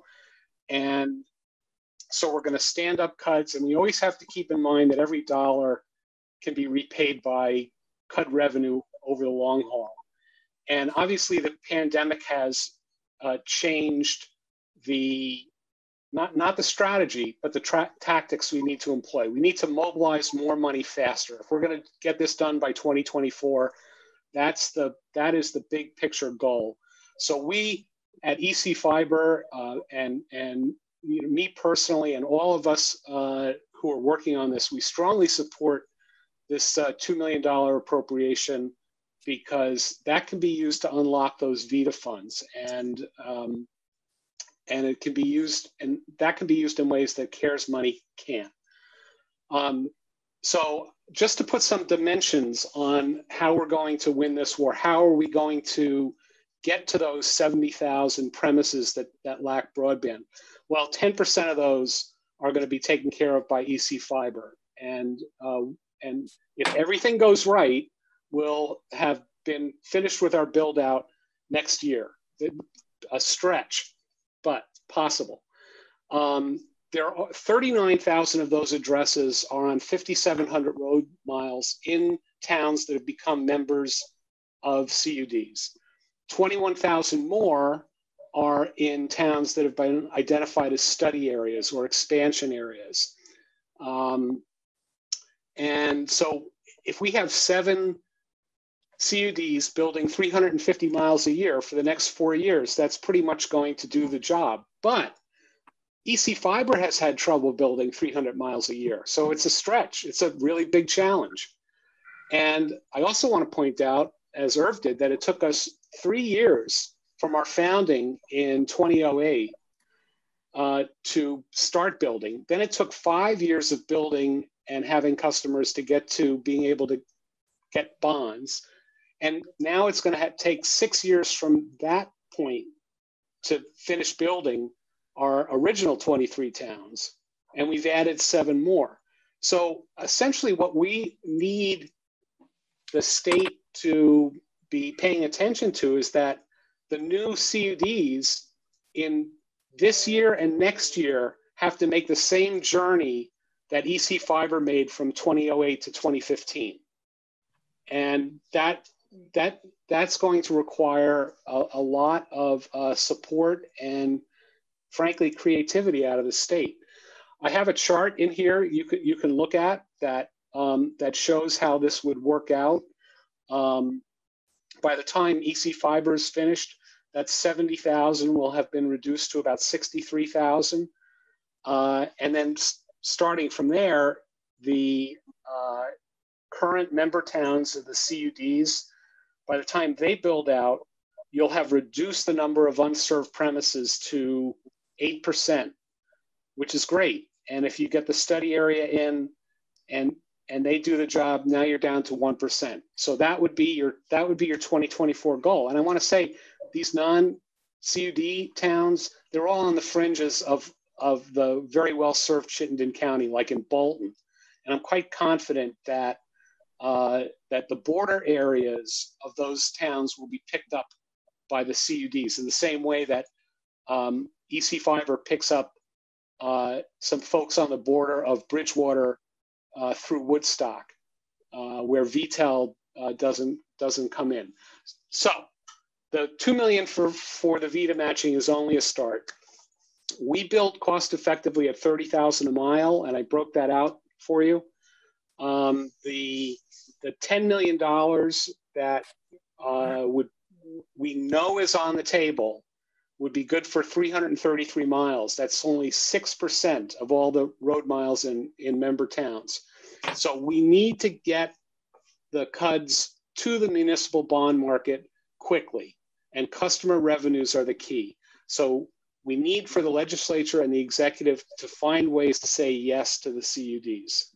That, that's uh, that that's really my, my message. Now, I have a very specific idea for how we can spend some CARES Act money but it's something that we're going to have to move quickly on. And I'm calling this the Vermont pole harvest and why we need 1.4 to $3 million of CARES Act money to collect pole data this autumn. Um, whoops. Uh, basically, the issue that we face is, whoops, is that I'm pulling up the wrong file.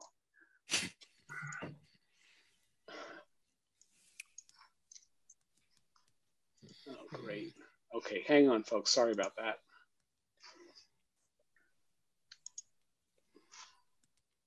Just a moment here.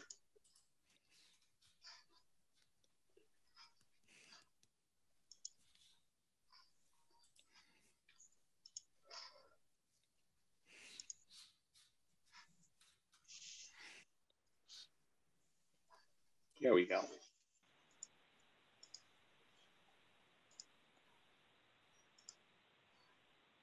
Would.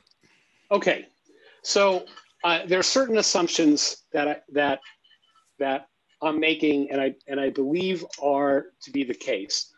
The first is that the new CUDs could build up to 25% of their networks during the 2021 construction season.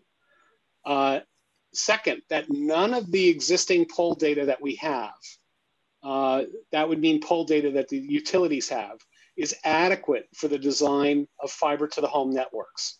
It's not sufficiently precise. There's not sufficient detail about what's on the poles, um, et cetera. Um, you can't do any construction. You can't buy any materials. You can't do design without adequate pole data pole data collection is a legitimate use of CARES money. We already have made small grants. In those $100,000 grants to the CUDs, they've specified that some of that would be for pole data collection. Madam Chair, may I just interrupt for a moment?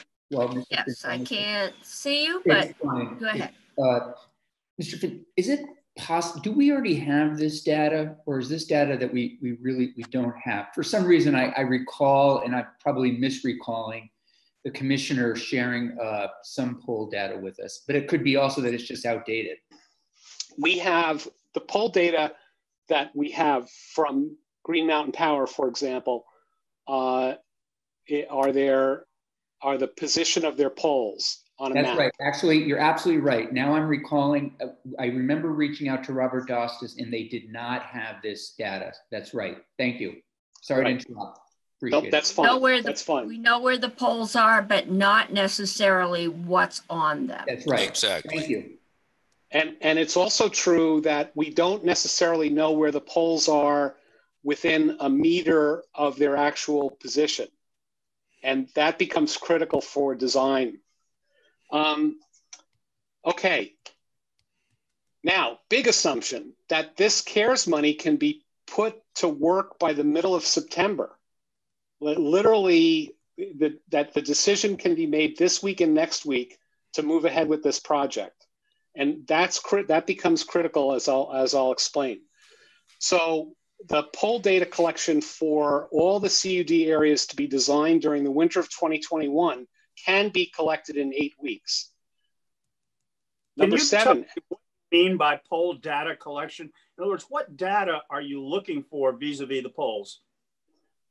Uh, we're looking for their uh, position within uh, a meter. We're looking for what's on the pole. We're looking for how tall the pole is. We're looking for the birthmark that is on the pole, the numbers that are on the pole, all of the elements that we need to collect uh, in order to provide uh, applications for pole licenses, all the data that we need for the designers so that they can accurately and correctly design the network. Well, as I understand, there are some providers, uh, such as some of our internet providers, that the state doesn't regulate, who have devices uh, on uh, the poles and who claim that that information, as well as the wires associated with them, is proprietary information. Have you? That, that's correct. That's why yeah, we have to go out and, and collect the data we, again. That's why we have to go out and get it. Well, the question is, if it's proprietary, do you have the ability to go out and get it legally? Oh yeah, right sure. there. It's in plain sight. Yeah. It may be in plain sight. Uh, it may or may not be in plain sight in terms of the details of what the precise device there is on the pole, which is what I understand that some folks are saying is proprietary. Well, it, you, you can tell if it, there's a transformer, if there's some specialized gadget, you can say there's some specialized gadget that uh, that the cable company is using because it's attached to the cable wires, or there's a specialized gadget that the power company is using because it's attached to the to, to their data line uh, in the electric space. So you, you might not have to identify exactly what was in that box. You would simply know that the box was there. Does it's what you need to know is how many poles or how many lines are up there. If you're going you know how many lines you're going to need to to pay to have moved. How many if you're going to need to put in or have put in a taller pole. Is that the information you need? Not whether or not it's a 5g 3g or 10g device that's hmm. stuck up there? That's correct there, there, we need to know we need to know all that and more. Okay, and that's in order so you can figure your cost to string so, the lines out. All right, well, and Irv, we've and what and and and where the lines you know need to go because you know frankly, uh, when you sit down to des design the network, you may find that uh, you only need to build up to this pole, and then you have a then there's an area where you know there isn't any there aren't any premises to serve. And then on the far side of town you can actually come down from another place. So at the end of the day it's not necessarily true that you need to put fiber optic on every single cable on every single road. And you've what you you're doing uh, in terms of inventorying are you inventorying uh, for example fiber uh, that may be uh, connecting uh, one pole to the next uh, to the extent of determining who owns it. Is that part of, of, of your concept? Well,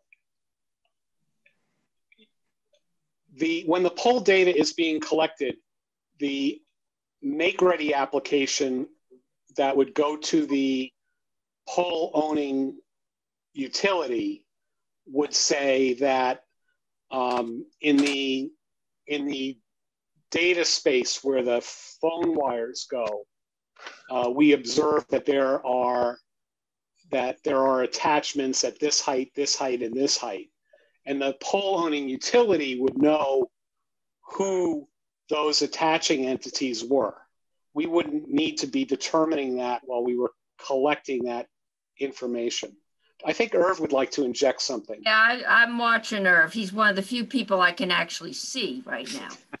I just wanted to point out to Senator Brock that even if those attached entities on the pole claim that their detailed information is proprietary, they are more than willing to take our money to move their cables around in the make ready process. So they talk out of both sides of their mouth, to be blunt.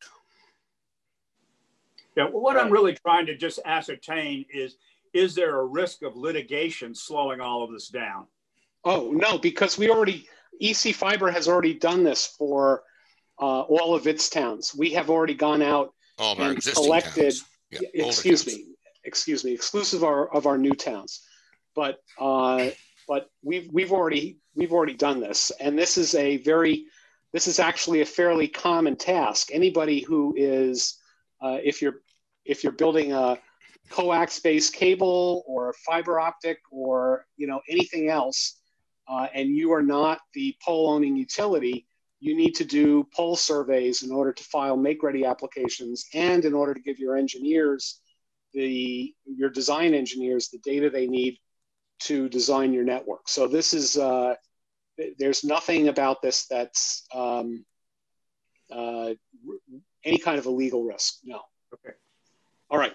So uh, uh basically, um, as temperatures fall below freezing, uh, the ability to collect massive amounts of pole data quickly uh, can't continue because the technology has limits.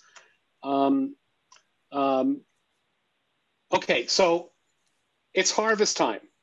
And we are staring down a harvest crisis because if we don't conduct a harvest this fall, then we're going to miss the next construction season because if it's incomplete, then some areas will have no chance of seeing progress next construction season.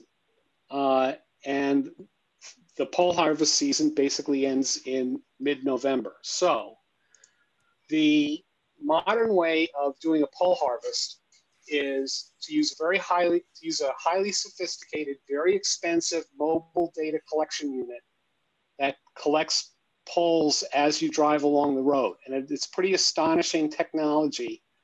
And the, the mobile units that do this cost about a million dollars a piece. So there's a hefty rental fee to, to put them to use. Uh, now, there are also lots of poles that go through uh, the woods or so called easement poles. And um, we have access to a, uh, a company that can deploy five highly trained collectors with state of the art equipment uh, who can go out and uh, do this. Now, in order to harvest the pole data, we're going to have to rapidly mobilize at least a million dollars. And the reason is, is it's not economical to deploy that mobile data collection equipment on short notice with a short window of good weather unless they're going to be able to bill us for 50,000 poles at $21 a pole.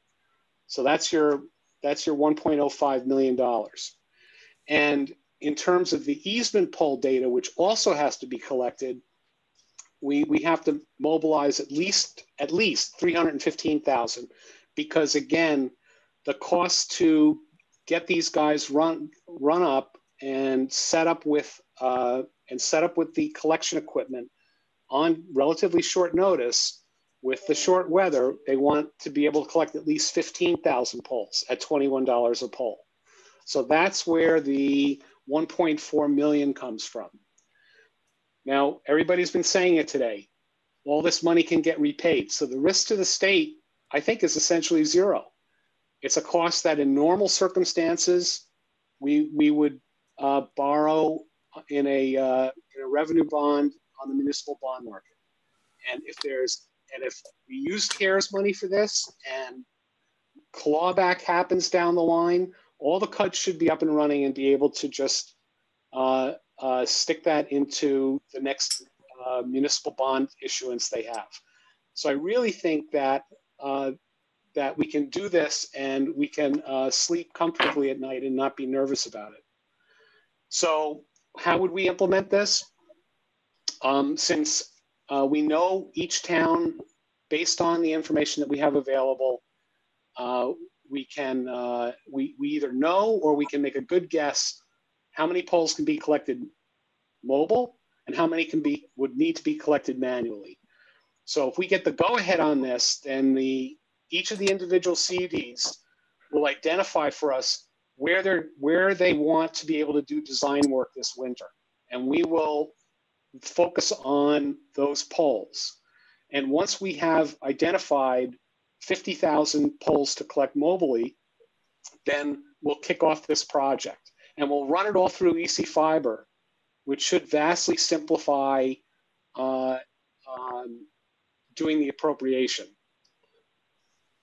So um, uh, $21 a pole, go through EC Fiber. So here's a here's an example of a scenario where we've got um, six of the uh, CUDs in on it, and 51,000 mobile poles and 29,000 manual poles at $21 a pole would be 1.697 million.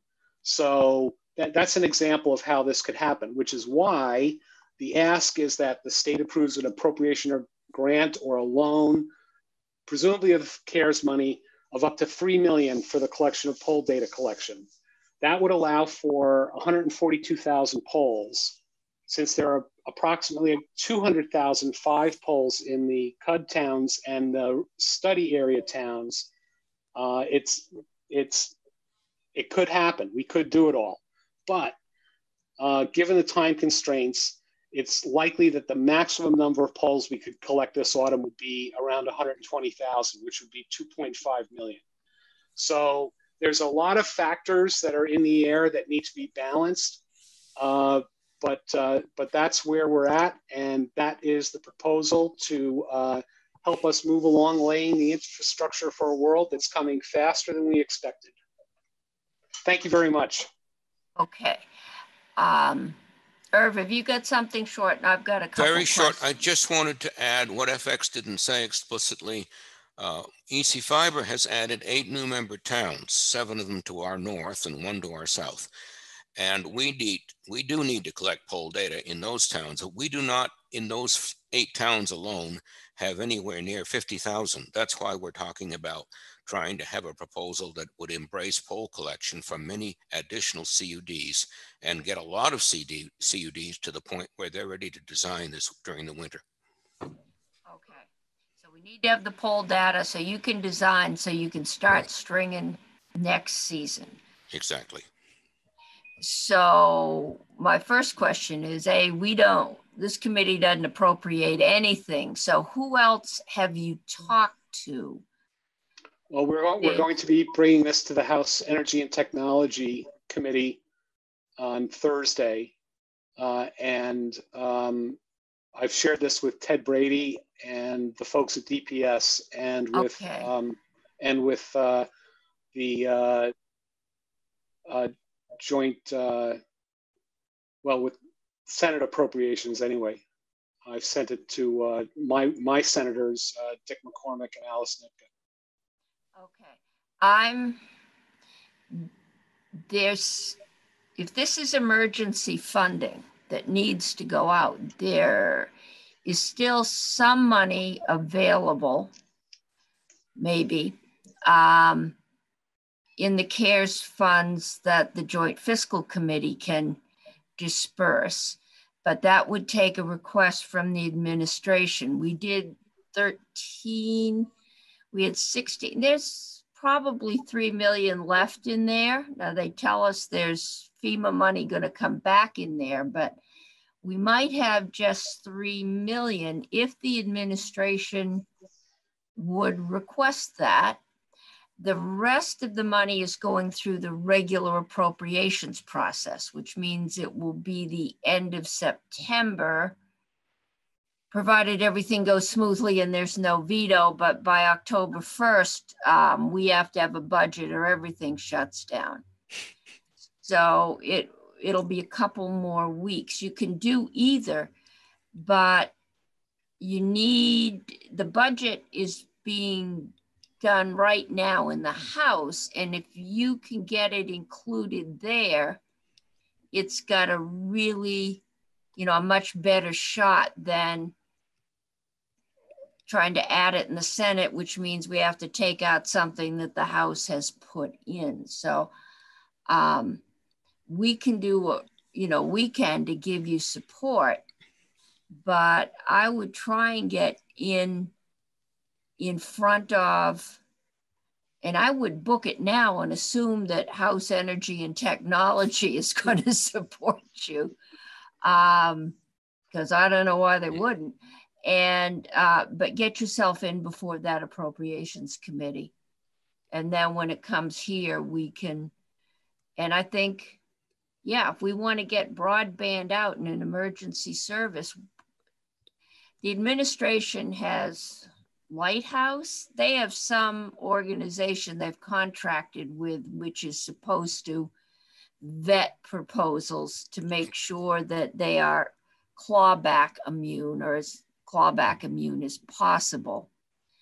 Um, So um, I, I would encourage you to call your representatives on the House approach and see if you can talk to the chair at least of energy and technology and you know let him know what you're thinking so he can be prepared to move things swiftly and perhaps get it before probes over there Do you think it might be possible to get um, to get some out of the uh, emergency and and maybe tag the rest into the bill? I don't know. Um, That was my question too. yeah, I mean, the, the governor, the administration came to joint fiscal with $47 million worth of requests.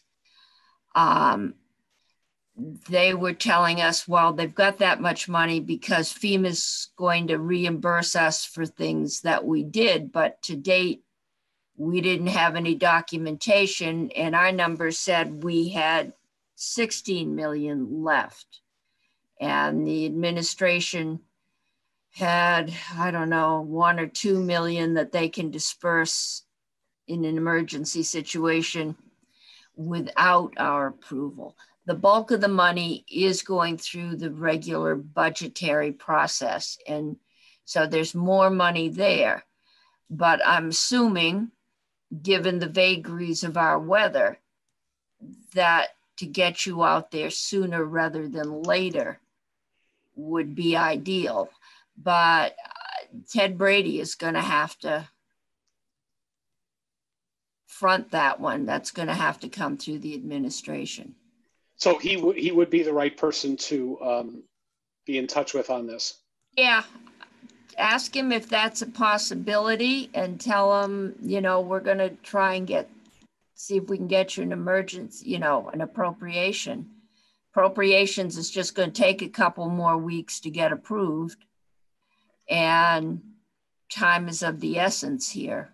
The, I assume the sooner you get out, the more poles you can you can get done and then you can spend the winter doing your engineering and planning and hopefully EC fiber and maybe CV fiber can start stringing. I don't know if anybody else is ready to do that. But yeah, well, I'm that would sure be the next challenge. Getting yeah, them, the, I mean, getting I, them the I, money for that. yeah, I mean, I'm not sure if I'm getting more calls on lack of broadband or lack of childcare but they've replaced inability to get unemployment benefits in where I'm spending my time. So there's a real need out there. And I haven't got hugely rural county to deal with. Senator MacDonald. Just, uh, Madam Chair, um, I, this this uh, meeting this afternoon to I kind of view as a watershed moment. Um, we have, and I, I, it has made me realize that the committee that was put together that were that uh, Senators Westman and um, and um, Campion worked on to to to look ahead on the things that would be needed during this time have come to bear. This is the first time I've heard people from all over the state who understand that um, funding the cherry picking for profits is a road to disaster and that the goal is fiber um, and that different uh, um, when when Christina said that we we should let the individual CUDs uh, fund through them, they're the ones that know um, where the temporary wireless might be effective because the topography of each CUD is, they're all unique and one size isn't going to solve it. Um, it we, we've spent a long time and several years having discussions to try to bring this sort of, of unity together. The one thing that I found scary um, was that um, it, it's sort of like the San Francisco gold rush that um, once this this has become realized as being the way to go with CUDs, we've got twice as many as we expected.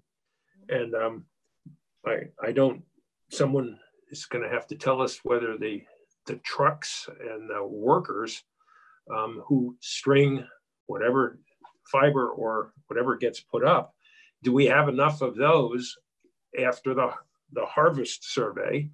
Um, do we have enough of those or do we have to start thinking about we've got a lot of CUDs ready to go and they have the funds and they have the um, they have the intelligence from the poles and what needs to be done? Are there the people who will be ready next year to do it or will we, we be say sitting there with sitting there with no one to actually perform the work. But um, I didn't expect to hear what I heard today and the unanimity with which um, the various entities have uh, have come to coalesce around. And um, it's been a long time coming, Madam Chair. So thank you. It has, and this has been, I will share that, the first time that I feel I have something I can hang my hat on. Um, this is very technical and not my field of expertise. So right now we know what you need. Um, we know where it'll get the big bang and three or four million dollars is not a whole lot as requests have been coming in, but the money is depleting. Um, I think we all remain hopeful that more will come, but right now we only have what we have. So this may be a very good uh, investment. And Christine, I see you're uh, you're well trained, Christine. You've got your little blue hand up. Yeah, I, I wanted to follow up on what Senator MacDonald was talking about because this is really, you know, I don't, I wouldn't, I wouldn't necessarily be concerned about that because what you've created, this is really the opportunity for Vermont moving forward. And, uh, you know, and so I think, you know, the next step is, and our CUD should be doing this as well. You know, we're all fresh and new, but I see this in our vision, working with the local schools to get the uh, training in the schools so we can produce the workers long term. This is the future. And uh, I will pick another plug too. You know, you look at, I've, I've said this when I was in the electrical world, you know, you've got, you know, an average lot, field line work for electric utility starts at 79,000 and makes a lot of money with overtime, yet we don't have one single female line worker in the state of Vermont. So I would certainly look at this field, try to encourage more women into this field as well. So this is definitely a great opportunity moving forward. It was training women to work in those traditionally male fields. We need to talk to them. Right, right. Okay, Irv, I, am going to start gonna, wrapping this up because yeah. our next witness. E EC Fiber's outside crew chief is a woman. We took ah. her out of ah. the field. Eustace Cable's got some women running that thing too. Okay, updated data. Okay. Madam Chair?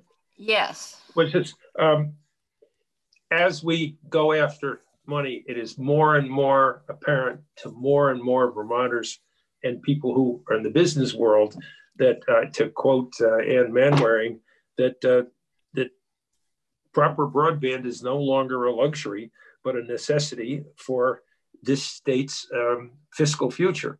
So when we're dealing with competing interests, um, this is the one that is going to take us to the, the, where we need to go um, as a state for our fiscal future and should be um, embraced by all, particularly since there's a consensus amongst all parts of the state as the direction to take and you know, where to start, whether it's with har- starting with harvesting and then and then um, letting districts plant make their own plans according to their topography. But losing a, a, construction season when there seems to be consensus would be just a, a terrible waste. So thank you. Okay, so we will do what we can, see if you can get into the house really fast and get into the budget there. Um, and then we'll see. And the next thing we need to think about is if CV Fiber is going to go request a good portion of what of the funds that uh, VEDA has, at some point we're going to have to start thinking about replenishing those funds. So let me just ask a, a question I to, to the group. Who would oppose doing what you'd like to do and why? Wait, wait.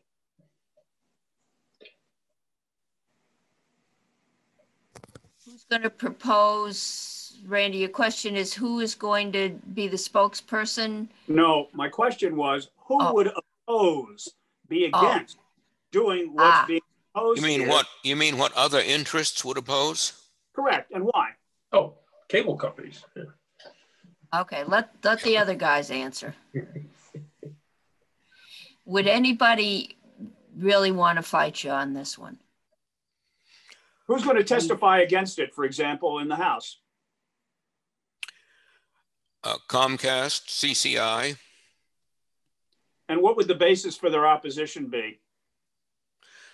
Frankly, very frankly, they won't put it this way, but CCI is fighting a rearguard action.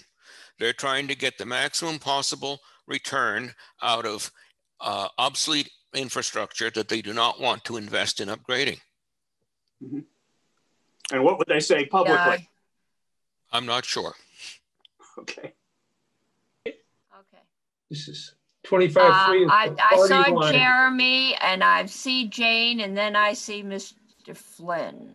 Okay, Jeremy, have you got anything to?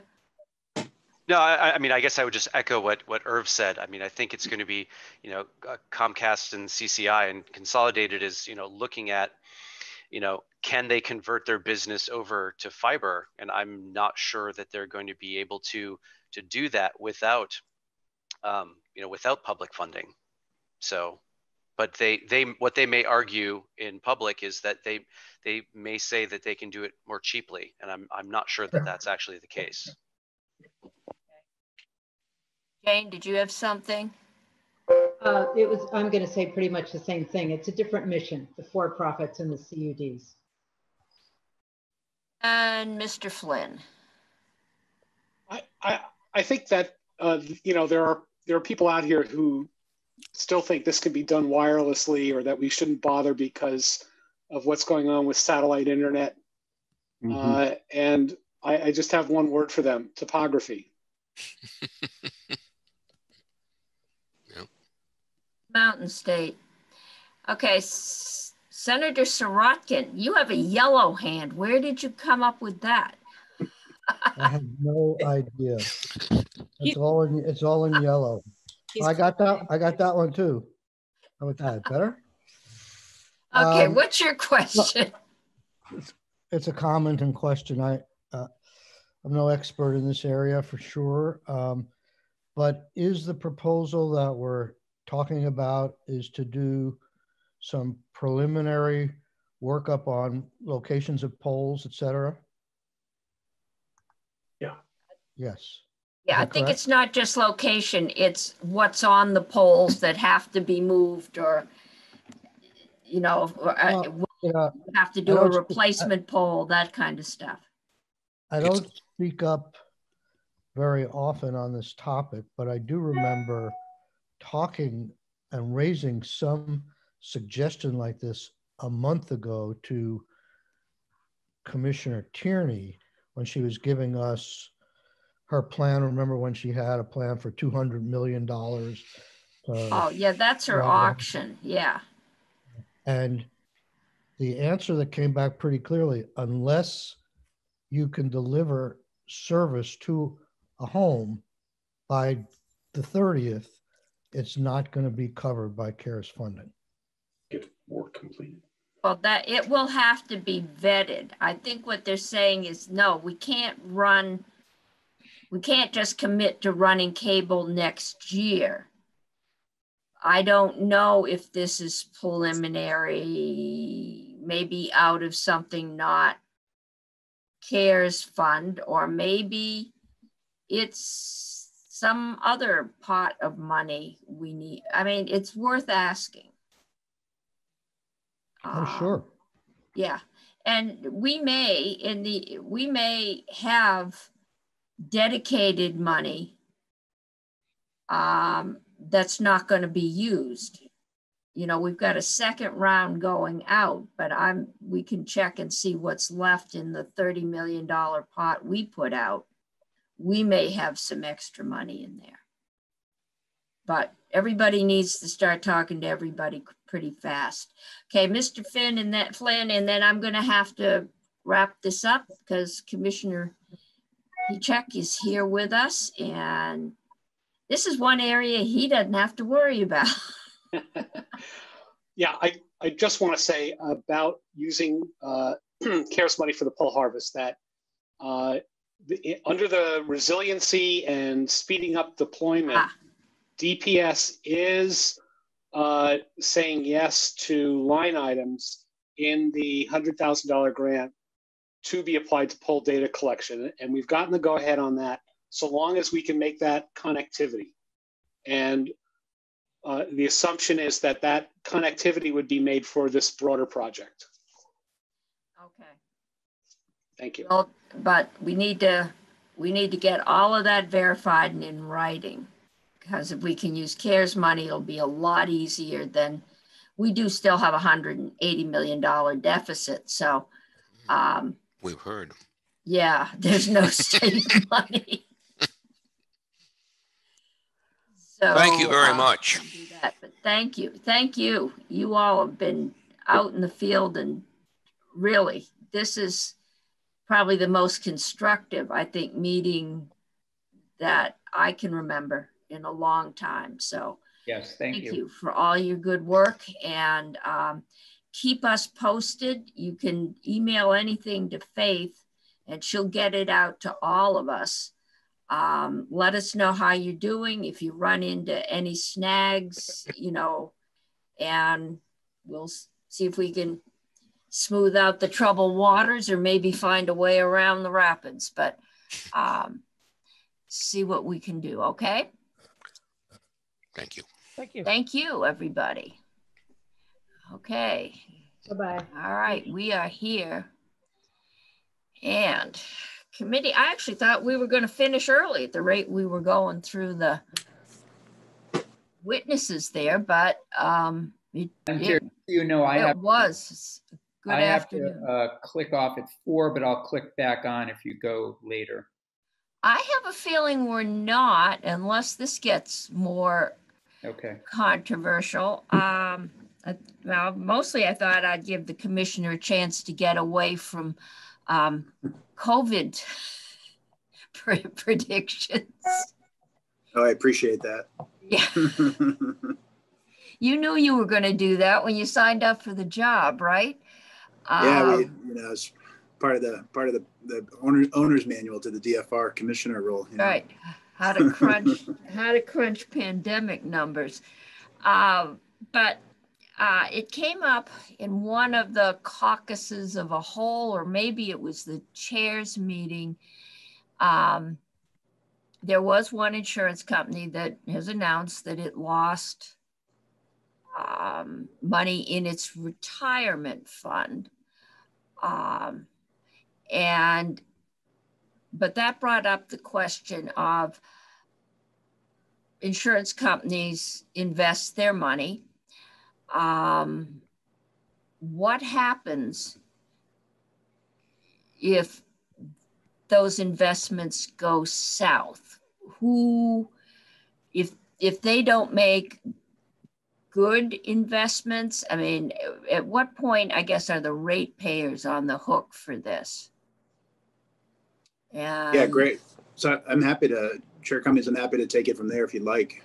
Um, and I did provide a, um, a, a PowerPoint um, that I thought would be a helpful illustration, both for that general question and then also to ask the specific question as to the loss that occurred um, with Blue Cross Blue Shield and its pension plan. Because I, I think I think that'll be helpful to, to talk about and walk through.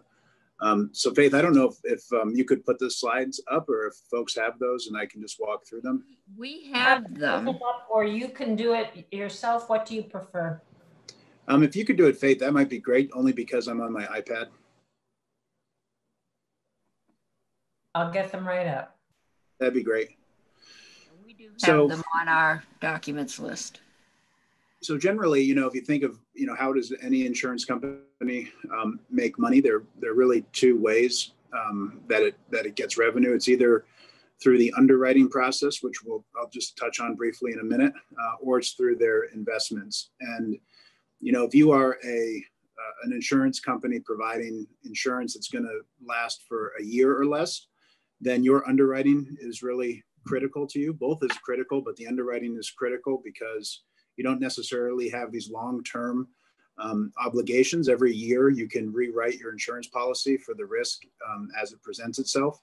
But if you are a, uh long-term care insurance company, if you're a life insurance company, an annuity a company that sells annuities, then those long-term um, strategies are going to be really important for you. And much of the proceeds that you're going to end up paying out will be earned through um, investment returns. Unlike, you know, a P&C company, a property and casualty company, or even a life insurer like Blue Cross Blue Shield, where, you know, those investments are important, but really you want to get the underwriting uh, correct. And the underwriting um, is basically the difference of how many, how much premium you take in, uh, how many claims you have to pay out, and did you have enough left over to cover your administrative overhead? And you want to get that you want to get that ratio right and make sure that you don't have a deficit or a loss, particularly year after year. But Faith, if we could go to the next slide, I'll show you um, basically just again the overview of this. You know, you have the consumer over there represented uh, by the individuals. Um, you have a couple of different insurance companies here as an example. We have a, a reinsurance company that we're showing, and then we have this sort of retrocedent, which is like a reinsurance company on a reinsurance company, and these uh, things called catastrophe bonds. So basically, you know, if you think of this process, every one of these people or entities is taking on some portion of the risk. Uh, usually we have a deductible of some kind, whether on health insurance or whether um, on a property and casualty like an automobile insurance. You know, you're taking on that first $500 or $1,000 of risk. The insurance company is taking on, you know, what is most likely going to be, uh, you know, the amount that a significant claim will land in, you know, let's call it $500 to a million dollars. Um, but there could always be a really significant loss and the insurance company wants to protect itself as well. So it goes out to the reinsurers, you know, that um, really take the risk on from a whole bunch of different insurance companies, diversifying the risk even greater. Um, and they might take on, you know, the risk that's between a million and 10 million, for example. And then they will even go out even further and um, offshore some of their risk uh, to a, a retrocedent, basically another reinsurer uh, or they might issue these catastrophe bonds where, you know, if X, Y, Z happens, um, then uh, uh, then the reinsurer gets to maintain um, the uh, amount of the bonds that it issued. So basically, it issues a million dollars in bonds and says we'll pay you two percent, um, except if there's a Category Five hurricane that strikes the United States and uh, we experience X amount in damage, we get to keep all the proceeds from the bond issuance. So that's just to show you all the different ways that insurance companies spread the risk out across the system so that you know any particular um, hit for any uh, one of those consumers or any one of those insurance companies um, will hopefully only have a minimal impact and not a systemic impact. If we could go down to the next slide, um, Faith, this is really just bringing home the point about you know underwriting, which we talked about just a minute ago. So if you just take one of these examples, your insurance company A, you want to price all of the all of that risk for all those individuals um, and try to determine what amount of premiums need to come into the insurance company so that you can pay out your claims for that given year. Uh, but for whatever the difference is, that you can um, pay your administrative expenses and whatever is left over uh, will go into your surplus. So you'll see here in this example, the company is having an underwriting gain. They, they collected $1,000 in premiums. They paid out $900 in claims. The $100 is what they've retained, uh, $90 of which went to pay for salaries, benefits, and, and the like. And the $10 went into its surplus for reserves and um, its investments. So those reserves and investments are there in the event they don't make a gain in a given year, but they have a loss uh, or even a significant loss. So I highlighted I highlighted pensions, and we'll get to this in a minute. But you can see that the pensions are really under that administrative expense. That would be an expense that an insurance company decided to um, make for on behalf of its employees in the same way that it might decide to provide certain benefits to empl its employees, healthcare, uh, life insurance, and the like. Um, some insurance companies have decided to provide a pension to their employees, and they need to cover the cost of that um, benefit just like any other benefit or salary uh, under their administrative expenses. So that's just something to highlight. Uh, Faith, if we could go down the, the next slide, again, just a pretty straightforward example, but you know, here's a situation where in a given year, an insurance company collects $1,000, but it has to pay out $1,100. So it had an underwriting loss of, of $100. You know, you still need to pay the $90 for salaries, benefits, pensions, and the like. Um, so that that difference really comes from your reserves. That's really the thing that that helps you absorb any of those losses that you might see year to year. Um, and uh, you know you're able to pay out of that, pay your claims, and pay your administrative expenses. If we go down one more, Faith, I think we can help illustrate this again. You know that surplus, those reserves, those investments, that's really the heart of what we do at the department. Um, state insurance laws govern, you know, how much reserves a company needs to have so that a significant loss will not cause them to go insolvent. Um, state insurance laws also dictate, you know, what type of investments you can make. Um, they need to be more conservative investments than, you know, certainly uh, maybe even an individual might make. They need to be heavily weighted toward um, bonds and cash or cash equivalents with some exposure to equities, but there's a very strict um, protocol on what type of investments you can make. We as at DFR, as the state insurance regulator, we're tasked with making sure those investments are sound, that they, they comply with the uh, company's uh, investment guidelines, they comply with our statutory guidelines um, as well. And those investments uh, and reserves, those are there for the benefit of the policyholders. That is there to make sure that their, their claims are paid um, in a given year.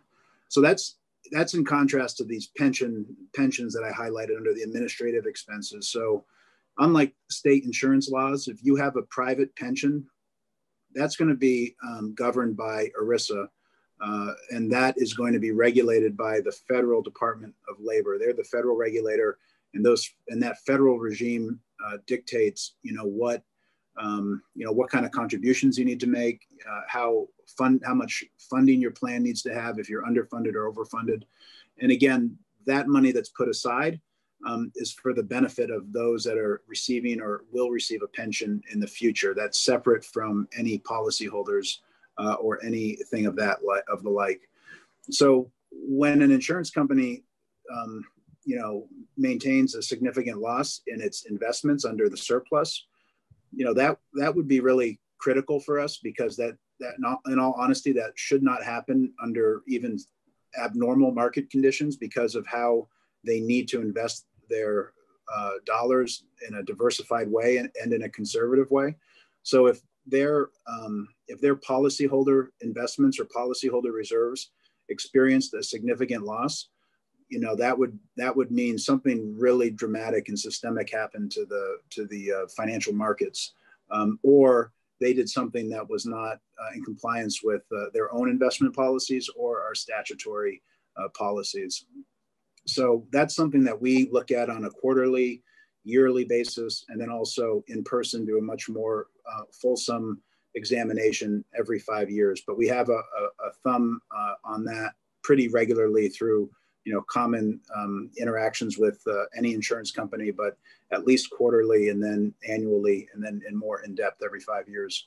Um, the pensions, on the other hand, you know those are again those are investment decisions that are governed by ERISA. You can't make decisions that are in violation of ERISA, and you also obviously have to make the investments in accordance with your um, policies that you set up uh, internally as a company. Usually, you have a pension committee that will make those decisions that are separate from uh, separate from the um, uh, separate from the uh, you know the a, normal board on the uh, or subcommittee of the board. So if you have again if you have significant losses in your surplus and your investments, um, at some point if they get severe enough, you might not have enough capital left that you can continue to operate as a company. The department might put restrictions on your licenses. We might have to um, put you into receivership. We might have to take over your, your company. If you have significant losses in your pension, um, not that that's not an impact, but it's a different kind of impact. Um, you know, if you have a pension and you experience a significant loss um, and you go below 80% funded, so what you anticipate to pay out your pension uh, now and in the future is below 80%, um, then you do have to make a cash contribution to get back up to 80%, um, for example. And then obviously you have to have a plan to work back toward getting a fully funded pension as well. If we go to the next slide, Faith, I'll again just drill down on the specifics of, of what happened um, here with Blue Cross and again, just talking about it in general terms. But So if you have a, a significant loss um, that results in a significant underfunding, and what, when I say significant underfunding, I'm really talking about, you know, are you below that ERISA threshold of, of 80%? Um, and if you do have that, then you're going to have to have an immediate contribution of cash into your pension fund to get you back up to that that sort of level. Um, and then you're going to have to make a payment or payments over time per ERISA to get back up to sufficiently funded. If you have a significant loss and it results in, you know, just sort of normal underfunding, you're you're under you're under by 90%, 85%, then obviously you have to make sure you have enough uh, on hand to pay uh, individuals over time but that's not a, a, immediate issue. You can work on that again over the years and even over the decades. Um, again, if you have a significant investment loss, like what happened in, uh, for example, Blue Cross Blue Shield, you want to see how your other investments play out throughout the given year.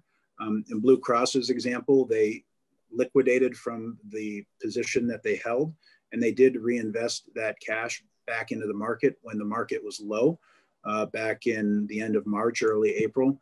And the market has come back up considerably since then. So that's something to keep in mind um, also. And then last, um, you know, this is a general statement, but it applies in the situation for Blue Cross Blue Shield.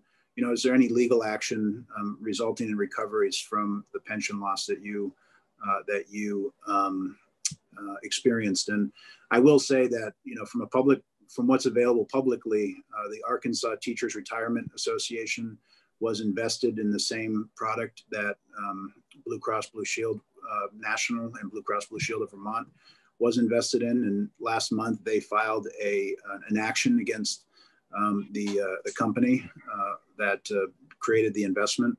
So there there are I think legitimate um, legal you know avenues to pursue uh, for those that were impacted by this specific example. Um, but you really want to, you really want to, um, you know, I guess my point here is you really want to understand that a, significant loss in your pension might not necessarily result in an immediate financial impact. It's something that you have to certainly address. You, you have more time to address it in many circumstances.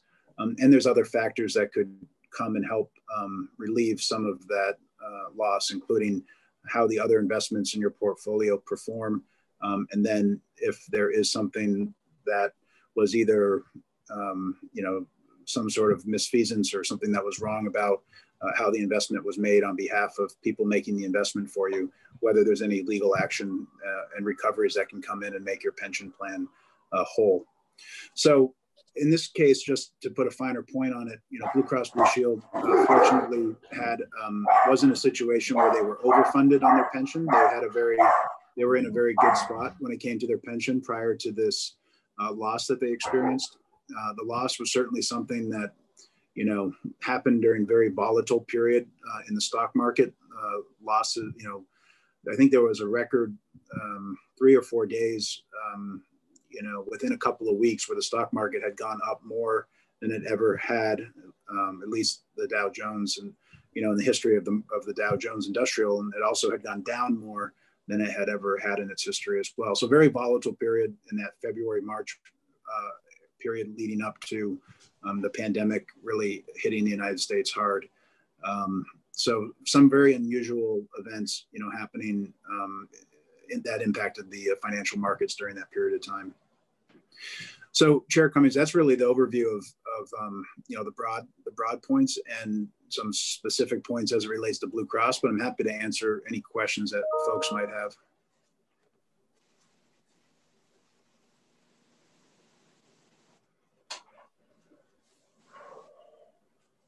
Answer. Uh, I'm listening to this and saying, "Oh yeah, the state of Vermont has learned a lot about pensions." uh, I think we're in that pay it back to 80% plus um, all kinds of interest and penalties. So the same thing would basically happen to an insurance company or any private company. They would be required to put money in. I guess the question, and they could get that money from their other investments but eventually would could it come from rates if So- all else fails? Yeah, so if you if you think of um, you know, if you remember that one slide where it showed the hundred dollar surplus and then some of it went Yeah. to administrative costs, some of it went to the Right. actual surplus. Yeah, so if you think of 90 that, of that. If you think of that ninety dollars, I mean, over time that has been going to pay salaries and benefits and the pension. So the pension, you know, did come from rates, you know, over time.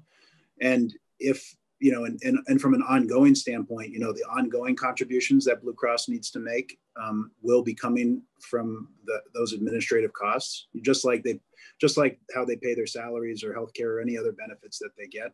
So there is, um, there is a direct connection between the premiums, the revenues that they're collecting, and um, those administrative expenses. I will point out though that you know Blue Cross of Vermont does have very low administrative expenses compared to how you know the percentage of premiums that they bring in. So I think they trend somewhere between six percent and seven percent of all the premiums that they bring in go toward um, administrative costs. And if you remember under the ACA, you can't have more than twenty percent of your um, of your premiums go to administrative costs. So that's kind of the outside line there, and, and they're sort of safely within it. And they usually are better than any of the other blues plans in the country on a on a proportional basis. So their administrative expenses, they do they have kept those low historically um, and done a good job on that. So could those administrative expenses increase because they need to provide uh, funding to the pension? You know, that's certainly a possibility, but you know, I think they they need to see how their other investments are going to do this year. They need to see if there's if they're successful in any legal recourse that they might pursue. Those are two really big questions, I think. And even if neither of those pan out, if their investments didn't perform that well, if they don't get any recovery, then they were in a good spot being overfunded on their pension that they can likely repay and get back to a position of um, you know a fully funded pension with pretty minor impact if any impact on on that uh, on needing to increase that administrative uh, expense Okay. Any questions from the committee?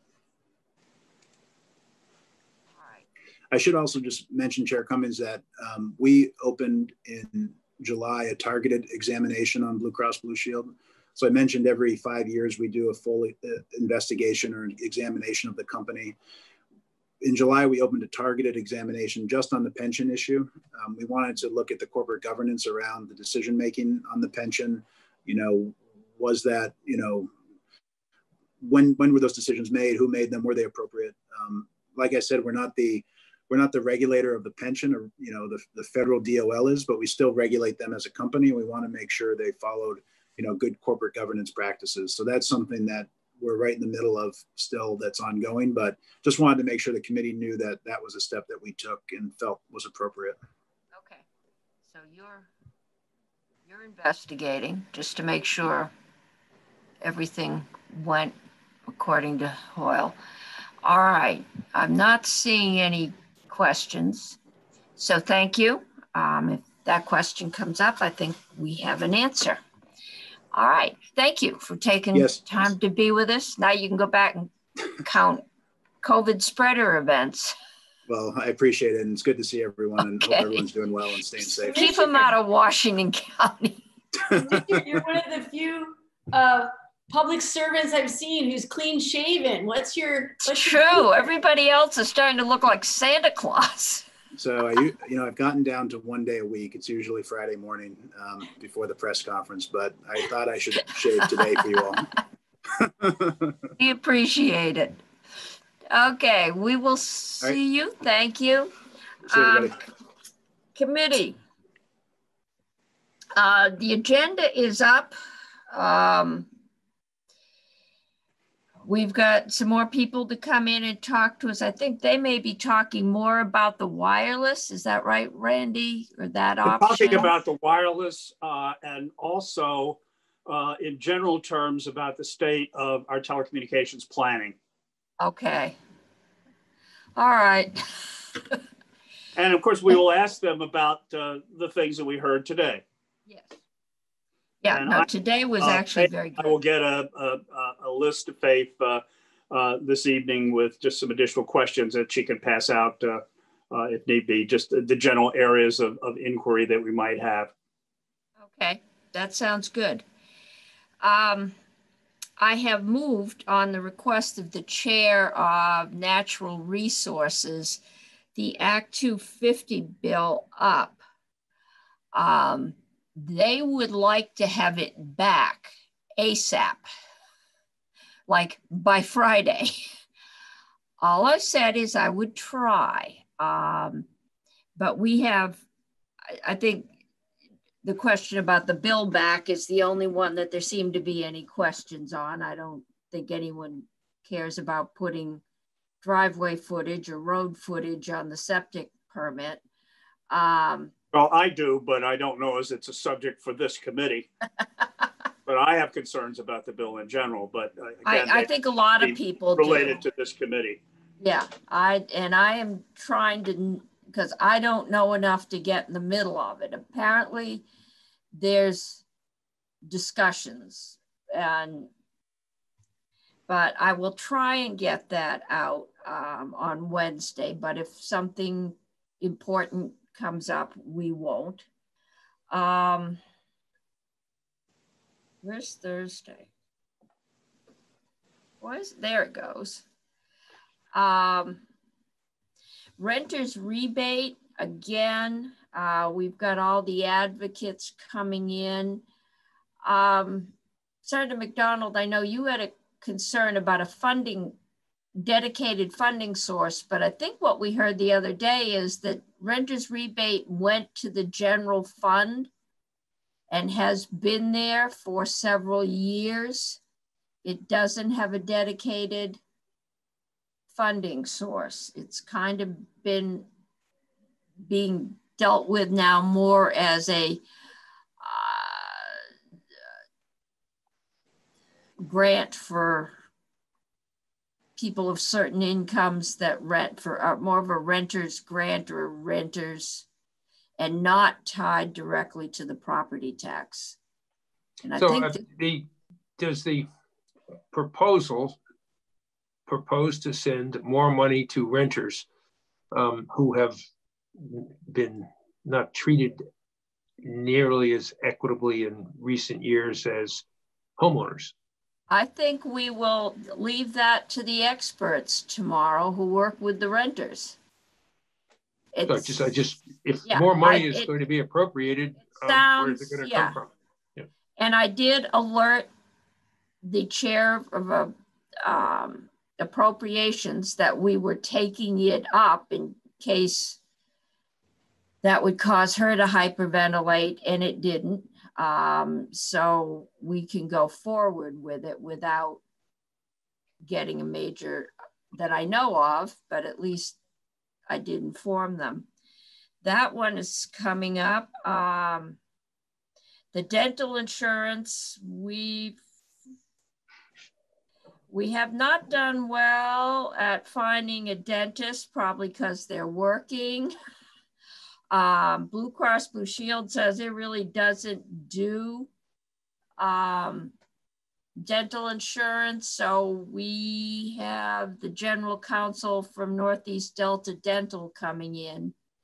Um, I know this was a real issue in New Hampshire, in Rhode Island, where one company had two thirds of the market. And they therefore pretty much could say, you do, you know, if you want to carry our insurance, um, we're only going to cover fillings and yada yada, but um, you will. And at that point, it was mostly cosmetics, but you will do whitenings and you will do cappings and you will do this for this price. And the dentist were saying, well, that's how we make our money. And so, and it wasn't that big an issue here, but apparently it's made its way up. It was a good eight years ago. I haven't been to NCOIL since maybe 2012 or 13, and it was one of their model bills. So that's coming back. If we can, I'd like to get that one out. And then I'm starting to get things, but we have put 674, which is the H bill, on the farmers and current use and the house sites and cabins and how much you have to take out if you put up a couple cabins for folks to do farm visits on. Um, there's a couple folks that are kind of hanging in the middle there. They'd like that done. Um, Friday, we are still holding open. So unless something emergency shows up or we don't get through the agenda, um, I think Friday will we will have off at this point. No guarantees. But um, yeah, so don't book into an expensive spa for Friday afternoon. Wearing your mask. I think that's it. Anybody wants anything added, subtracted, let me know. Okay? Have a good rest of the day. I hope some of you have got sun. We don't. Ending live stream now. Okay.